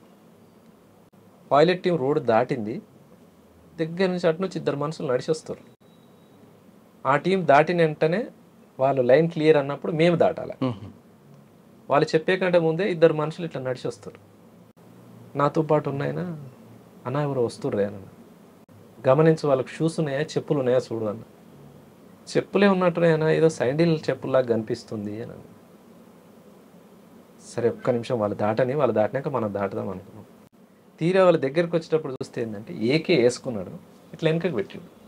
బెల్ట్ అనేది కనిపిస్తుంది వెపన్ బెల్ట్ అన్న వీళ్ళు పోలీసు వాళ్ళేనే? వాళ్ళు కామన్గా వెళ్ళిపోతేనేమో ఏమనొద్దు. మనల్ని కూడా అవతలకి దాటి కవర్ తీసుకున్నారు. చెట్ల సాటుకే ఉన్నారు కదా అనుకున్నాం. వాళ్ళు దగ్గర దాకా వచ్చి ఫైరింగ్ ఓపెన్ చేశారు. ఫైరింగ్ మాదికు కాకుండా దాటిన టీం మీద ఫైర్ అవుతుంది మేము కూడా ఒక్క సెకండ్ ఆడికెళ్ళి వెళ్ళి ఒక పదిహేను అడుగుల దూరం వెనకకు పోయి పొజిషన్ తీసుకొని మేము ఫైరింగ్ ఓపెన్ చేసినాం. మాదికు ఒక టీం ఫైర్ కొడుతుంది ముందున్న టీం మీద ఒక టీం ఫైర్ కొడుతుంది. ఇక మేము వెనకకి రిట్రీట్ అయినాం. ముందు టీము ఏమైందో తెలియదు ఇక. వాళ్ళు అటే పోయినరు మేము వెనకకు వచ్చాం. అదే దాడిలో ముగ్గురు కామ్రేడ్స్ అమర్లయ్యారు. పైలట్ టీం ఐదు మందితో ఉంటే ఇద్దరు బయటికి వెళ్ళిండ్రు ముగ్గురు అమర్లయ్యారు. దాంట్లో భూషణ్ అనే ఒక కామ్రేడ్ ఉండే. తను అక్కడ నుంచి రిట్రీట్ అయ్యి బ్యాగ్ ఒక దగ్గర పడేసి యూనిఫామ్ ఒక దగ్గర తీసేసి హైదరాబాద్లో తేలిండు తను. అంటే మాకు కలవాల్సిన తను మా దగ్గరికి రాకుండా ఆ ప్రాంతం ఆయనకు పట్టు లేదు తెలియని ప్రాంతం. హైదరాబాద్కి వచ్చేసి. అయితే మేము రిట్రీట్ అవుతున్న క్రమంలోనే మాతో పాటు ప్రభాకర్ అనే కామ్రేడ్ ఉండే. మాధవ్ గన్మెన్ తను అప్పటి వరకు. తర్వాత ఆయన రాచకొండకు మెంబర్గా పంపారు. దళ సభ్యునిగా ఉండాలని నువ్వు షిఫ్ట్ అని అంటే ఈ ట్రాన్స్ఫర్ అయినా. మలేరియా జ్వరం వచ్చింది ఆ కామ్రేడ్కి తను చనిపోయింది ఆ దాడిలో. పడిపోయింది. అంటే ఇక్కడ ముఖాల్లో తూడబడ్డది తనని తీసుకొద్దామని నేను పోతున్న క్రమంలో విపరీతమైన ఫైరింగ్ మా మీద. ఇక తనని కూడా తీసుకురాలేదు కానీ మేము అతను మేమే రిట్రీట్ అయినాం. ఆ గాయమైన కామ్రేడ్ అక్కడి నుంచి దాటుకుంటూ దాటుకుంటూ జరుపుకుంటూ జరుపుకుంటూ పోయి చెట్లల్లో చెట్టు పొదలో ఉన్నాడు. అదే చెట్టు పొదలో చనిపోయాడు తను. డిపార్ట్మెంట్ కూడా చూడలేదు ఆయన. తర్వాత ఒక రెండు నెలల తర్వాత జీవాల కాడులు ఆయన బట్టలు ఆయన వెపన్ తీసుకొచ్చి పార్టీకి అప్పచెప్పారు ఎవరు? అంటే పశువుల కాపర్లు ఉంటారు కదా పలానా అన్న ఇక్కడ చనిపోయినట్టుండన్న మేమేమనుకున్నాం అంటే ఎన్కౌంటర్ అయింది చనిపోయిండు. బాడీని కుటుంబానికి అప్పగించారు అప్పగించలేదో మాకు తెలియదు తనేం మహబూబ్నగర్ జిల్లా వాసి. మేమేమో నల్గొండ వాళ్ళం. రెండు నెలల తర్వాత మహబూబ్నగర్ టీంకే వాళ్ళు తన వెపన్ కావచ్చు డ్రెస్ తీసుకొచ్చి అప్పచెప్పారు. అదొకటి జరిగింది. ఈ భూషణ్ హైదరాబాద్లో తేలిండు కదా తనేం జరిగిందంటే ఆ దాడి నుంచి తప్పించుకొని వస్తున్న క్రమంలో ఇక యూనిఫామ్తో పోలేడు. యూనిఫామ్ ఇప్పేసిండు. బట్టలు లేవు. కిట్ బ్యాగ్ ఒక దగ్గర దాపెట్టిండు వెపన్ ఒక దగ్గర దాపెట్టిండు. ఎటు పోవాలనో తనకు తెలుస్తలేదు. ఇంకా వస్తున్న క్రమంలో చేలల వర్షేన్లు అది వర్షేన్లు అంటారు. పత్తి చేలు ఉంటాయి బాగా. పత్తి చేలలో బెదురు పెడతారు కదా. ఓ బొమ్మ వేసి బొమ్మకు ఓ బటన్ తొడు ఆ బట్టలు వేసుకొని ఊర్లోకి వచ్చిండు ఆ మనిషి. ఊర్లోకి వచ్చిండు ఆడికి వెళ్ళిన తర్వాత ఒక నెల తర్వాత మళ్ళీ వచ్చి మాకు కలిసి తను బస్ ఎక్కి హైదరాబాద్కి రావడానికి ఒక నాలుగు రోజులు టైం పట్టింది తనకు. ఆ నాలుగు రోజులు తనని దొంగ పడడం ఇంకా రకరకాల ఇబ్బందులు పడి మొత్తం మీద వచ్చి ఏం పేరు? భూషణ్. ఉన్నారు ఎప్పుడైనా? లేడు చనిపోయింది తర్వాత. ఊళ్ళోకి వచ్చాక చనిపోయింది దాసిరెడ్డి కూడా తను సాంబశివుడు వాళ్ళ ఊరే. Okay okay. సార్ ఫైనల్గా చెప్పండి. చాలా మంది ఇప్పుడు మీరు చూస్తున్నారు. మీరు ఒక సిద్ధాంతం కోసం లోపలికి వెళ్ళారు పని చేశారు బయటకు వచ్చారు. ఇంట్లో అమ్మా నాన్న మీద మమకారంతో ఇప్పుడున్న యువత ఒక సిద్ధాంతం లేకుండా ఒక విలువలతో కూడిన జీవితం లేకుండా అడ్డదారిలో వెళ్తూ విలాసాలకి బానిస అవుతున్నారు అటువంటి వాళ్ళని చూసినప్పుడు ఏమనిపిస్తుంటుంది? వాళ్ళకి ఇచ్చే మెసేజ్ ఏంటి? అంటే ఇదంతా కూడా ఏంటంటే రాజ్యము కావచ్చు పాలక వర్గాలు కావచ్చు పెట్టుబడిదారు వ్యవస్థ సామ్రాజ్యవాద మూలంగా ఇంటర్నెట్ జూదము మీరు అంటున్న ఇవన్నీ వాస్తవాలే. యువత చెడు మార్గం వైపు పోతున్నది. కానీ దీని సన్మార్గంలో నడపాల్సినటువంటి మెసేజ్ అనేది రా రాకపోవడం మూలంగా జరుగుతుంది. అంటే ఆ మెసేజ్ ఎవరు ఇవ్వాలి? రాజ్యమే ఇవ్వాలంటారా? లేదు కన్న తల్లిదండ్రులు ఇవ్వాలా? గురువు ఇవ్వాలా? సమాజం కన్నా తల్లిదండ్రులు ఇవ్వాలి గురువులు ఇవ్వాలి సమాజం కూడా ఇవ్వాలి. ముఖ్యంగా ప్రభుత్వాలదే బాధ్యత. మాదక ద్రవ్యాలు కావచ్చు డ్రగ్స్ కావచ్చు మందు కావచ్చు ఇది విచ్చలవిడిగా ఇవాళ గ్రామాలల్లో విలయ తాండవం ఉన్నది. గ్రామాలల్లో మారుమూల గ్రామాలల్లో సెవెంత్ సిక్స్త్ చదివే పిల్లలు కూడా గంజాయికి అలవాటు అవుతారు అవును. దీనికి ఎవరు అడ్డుకట్టేయాలి ప్రభుత్వాలే. ముందు జాగ్రత్త చర్యలు తీసుకొని దాన్ని అడ్డుకట్టేసినప్పుడే సాధ్యమవుతుంది. నువ్వు నేను మన ఇద్దరం అనుకుంటే జరిగేది కాదు కదా. ఎందుకు? ప్రభుత్వం ఎందుకు తీసుకోవాలి? తల్లిదండ్రుల బాధ్యత లేదా? తల్లిదండ్రులు కూడా బాధ్యతే. ప్రభుత్వానికి ఎంత బాధ్యత అయితే ఉంటుందో తల్లిదండ్రులదే బాధ్యత. కానీ తల్లిదండ్రులు ఎంతవరకు తీసుకోగలుగుతారు? పొద్దుననంగా పోరాడు బయటకు పోయిండు అనుకో వాడు రోజంతా దినచర్య ఏముందో కదా. అసలు ఎక్కడి నుంచి వస్తుంది ఇది? ఏం జరుగుతుంది అనేది? అంటే సమాజానికి బాధ్యత ఉంది తల్లిదండ్రికి బాధ్యత ఉంది అంతకన్నా ఎక్కువ స్థాయిలో ప్రభుత్వాల బాధ్యత ఉంది. అంటే అదొకటే కాకుండా ఉమ్మడి కుటుంబ వ్యవస్థ రద్దయిపోవడం నాశనం అవ్వడం కూడా దీనికి ప్రధానంగా. కానుకోవచ్చా? వాస్తవం. వాస్తవం. ఉమ్మడి కుటుంబ వ్యవస్థ ఉన్నప్పుడు కొంత బాధ్యత ఉన్నది. బాధ్యత గురువు అవుతుంది ఎవరికైనా. అవి లేవు. పక్కింట్లో ఏం జరిగినా ఇవాళ యువతల ఇంటోడు పట్టించుకునే పరిస్థితి లేదు. రైట్.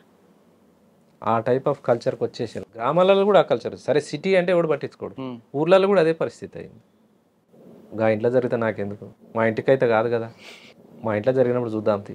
అగో ఇట్లా ఈ టైప్ ఆఫ్ ఇదంతా కూడా సమాజానికి ప్రమాదకరమైన గంటికలే ఇవి. సూచనలే. ప్రమాదమే. దీనికి సొల్యూషన్ ఏం చెప్పొచ్చు? ప్రభుత్వం సరైన చర్యలు తీసుకోవాలి ఒకటి. యూత్ కానీ యువత కానీ చదువు అనేది ఇంపార్టెంట్ ప్రశ్నించే తత్వం ఇంపార్టెంట్. ఇవి రెండు అలవర్చుకున్నప్పుడు సన్మార్గం పోతుంది. కానీ ఈ చదువు ఈ యువతనే పక్కదారి పట్టించడంలో ప్రధాన పాత్రధారి అవే అప్పర్ హ్యాండ్ అయ్యి వస్తున్నాయి. కానీ దీనికి ఆపోజిట్ వచ్చే మెసేజ్ అనేది విప్లవ పార్టీలు కావచ్చు లేదా కమ్యూనిస్ట్ పార్టీలు కావచ్చు సమాజపరంగా శాస్త్రీయంగా ఆలోచించే మేధావి సెక్షన్ కావచ్చు ఈ లైన్ అనేది తగ్గింది రావడం. సమాజాన్ని చెడగొట్టే లైనే ఎక్కువ వస్తుంది. ఒకప్పుడు పార్టీలోకి ఒక డెడికేట్గా చదువుకున్న వాళ్ళు ఒక కమిట్మెంట్తో వెళ్ళేవారు వచ్చేవారు అప్పుడు అవును. అదే క్రమేపీ తగ్గిపోవడం కారణం అనుకోవచ్చు అంటే ఒక సెక్టర్ పీపుల్ దూరం అయిపోవడానికి అంటే ఒక కొద్ది కాలం ఏంటంటే యూనివర్సిటీల నుంచి పెద్ద పెద్ద విద్యాలయాల నుంచి. ఉన్నప్పుడు. మేధావి సెక్షన్ ఉంది. అంటే తర్వాత గ్రామాల నుంచి తండాల నుంచి చెంచుపెంటాల నుంచి వచ్చిన రిక్రూట్మెంట్ మంచిది కాదని కూడా చెప్పలేము యూనివర్సిటీల కంటే వచ్చిన వాళ్ళ కంటే కూడా కమిట్మెంట్గా పనిచేసిన వాళ్ళు చెంచుపెంటాల నుంచి వచ్చిన వాళ్ళు ఉన్నారు. ఉన్నారు మీది అంతే కదా? అంతే. గ్రామాల నుంచి వచ్చిన వాళ్ళు కూడా అంతకన్నా ఎక్కువగా పనిచేసారు అంతకన్నా ఎక్కువ మూమెంట్ తీసుకున్నారు. అయితే నిర్బంధం మూలంగా ఏమైందంటే పార్టీ సెట్ బ్యాక్ కావడం నగరాలలో సెట్ బ్యాక్ అయ్యి గ్రామాలలో నుంచి రిక్రూట్మెంట్ అనేది వచ్చింది. అట్లా కొంత విద్యావంతులు తగ్గిర్రు పార్టీలు అనేది వాస్తవమే. కానీ గ్రామీణ ప్రాంతాల్లో కుల సంఘాలు ఎక్కువ అవ్వడం వల్ల. పార్టీ వైపు ఆదరణ తగ్గిందనేది కూడా వార్తుంది కొంతమేర పూర్తి కదని చెప్పలేము. కొంతమేర ఈ కుల సంఘాలు కూడా కొంత పార్టీని నష్టం చేసినాయి. ఉమ్మడి కుటుంబ వ్యవస్థ పూర్తిగా రద్దవడమే ఇప్పుడున్న యువత చెడు మార్గన ప్రధాన కారణం అంటున్నారు సుభాష్. ఆయన చెప్తున్నట్లుగా గతంలో భావజాలంతో లోపలికి వెళ్ళి పేద ప్రజల కోసం నిరంతరం కృషి చేసిన ఆయన బయటకు వచ్చిన తర్వాత కొంతమంది మాజీల్లా కాకుండా ఆయన జనజీవన సంస్థలో సామాన్య జీవితం గడుపుతున్నాడు. ఇప్పటికైనా సరే చాలామంది యువతులు యువకులు విలాసవంత జీవితాలకి అలవాటు పడకుండా ఒక కమిట్మెంట్తో చేస్తే ఒక సమాజం మంచి సమాజం వైపు వెళ్తుంది. లేదా ఇది ప్రమాదానికి ప్రధాన కారణం కావచ్చు అంటూ సుభాష్ చెప్తున్నారు. ఇది ఈ వారం సుభాష్తో ఎక్స్క్లూజెంట్ వచ్చే వారం మరొక బలి కలుద్దాం. దొరకడం థ్యాంక్ యూ అన్న. Thank you very much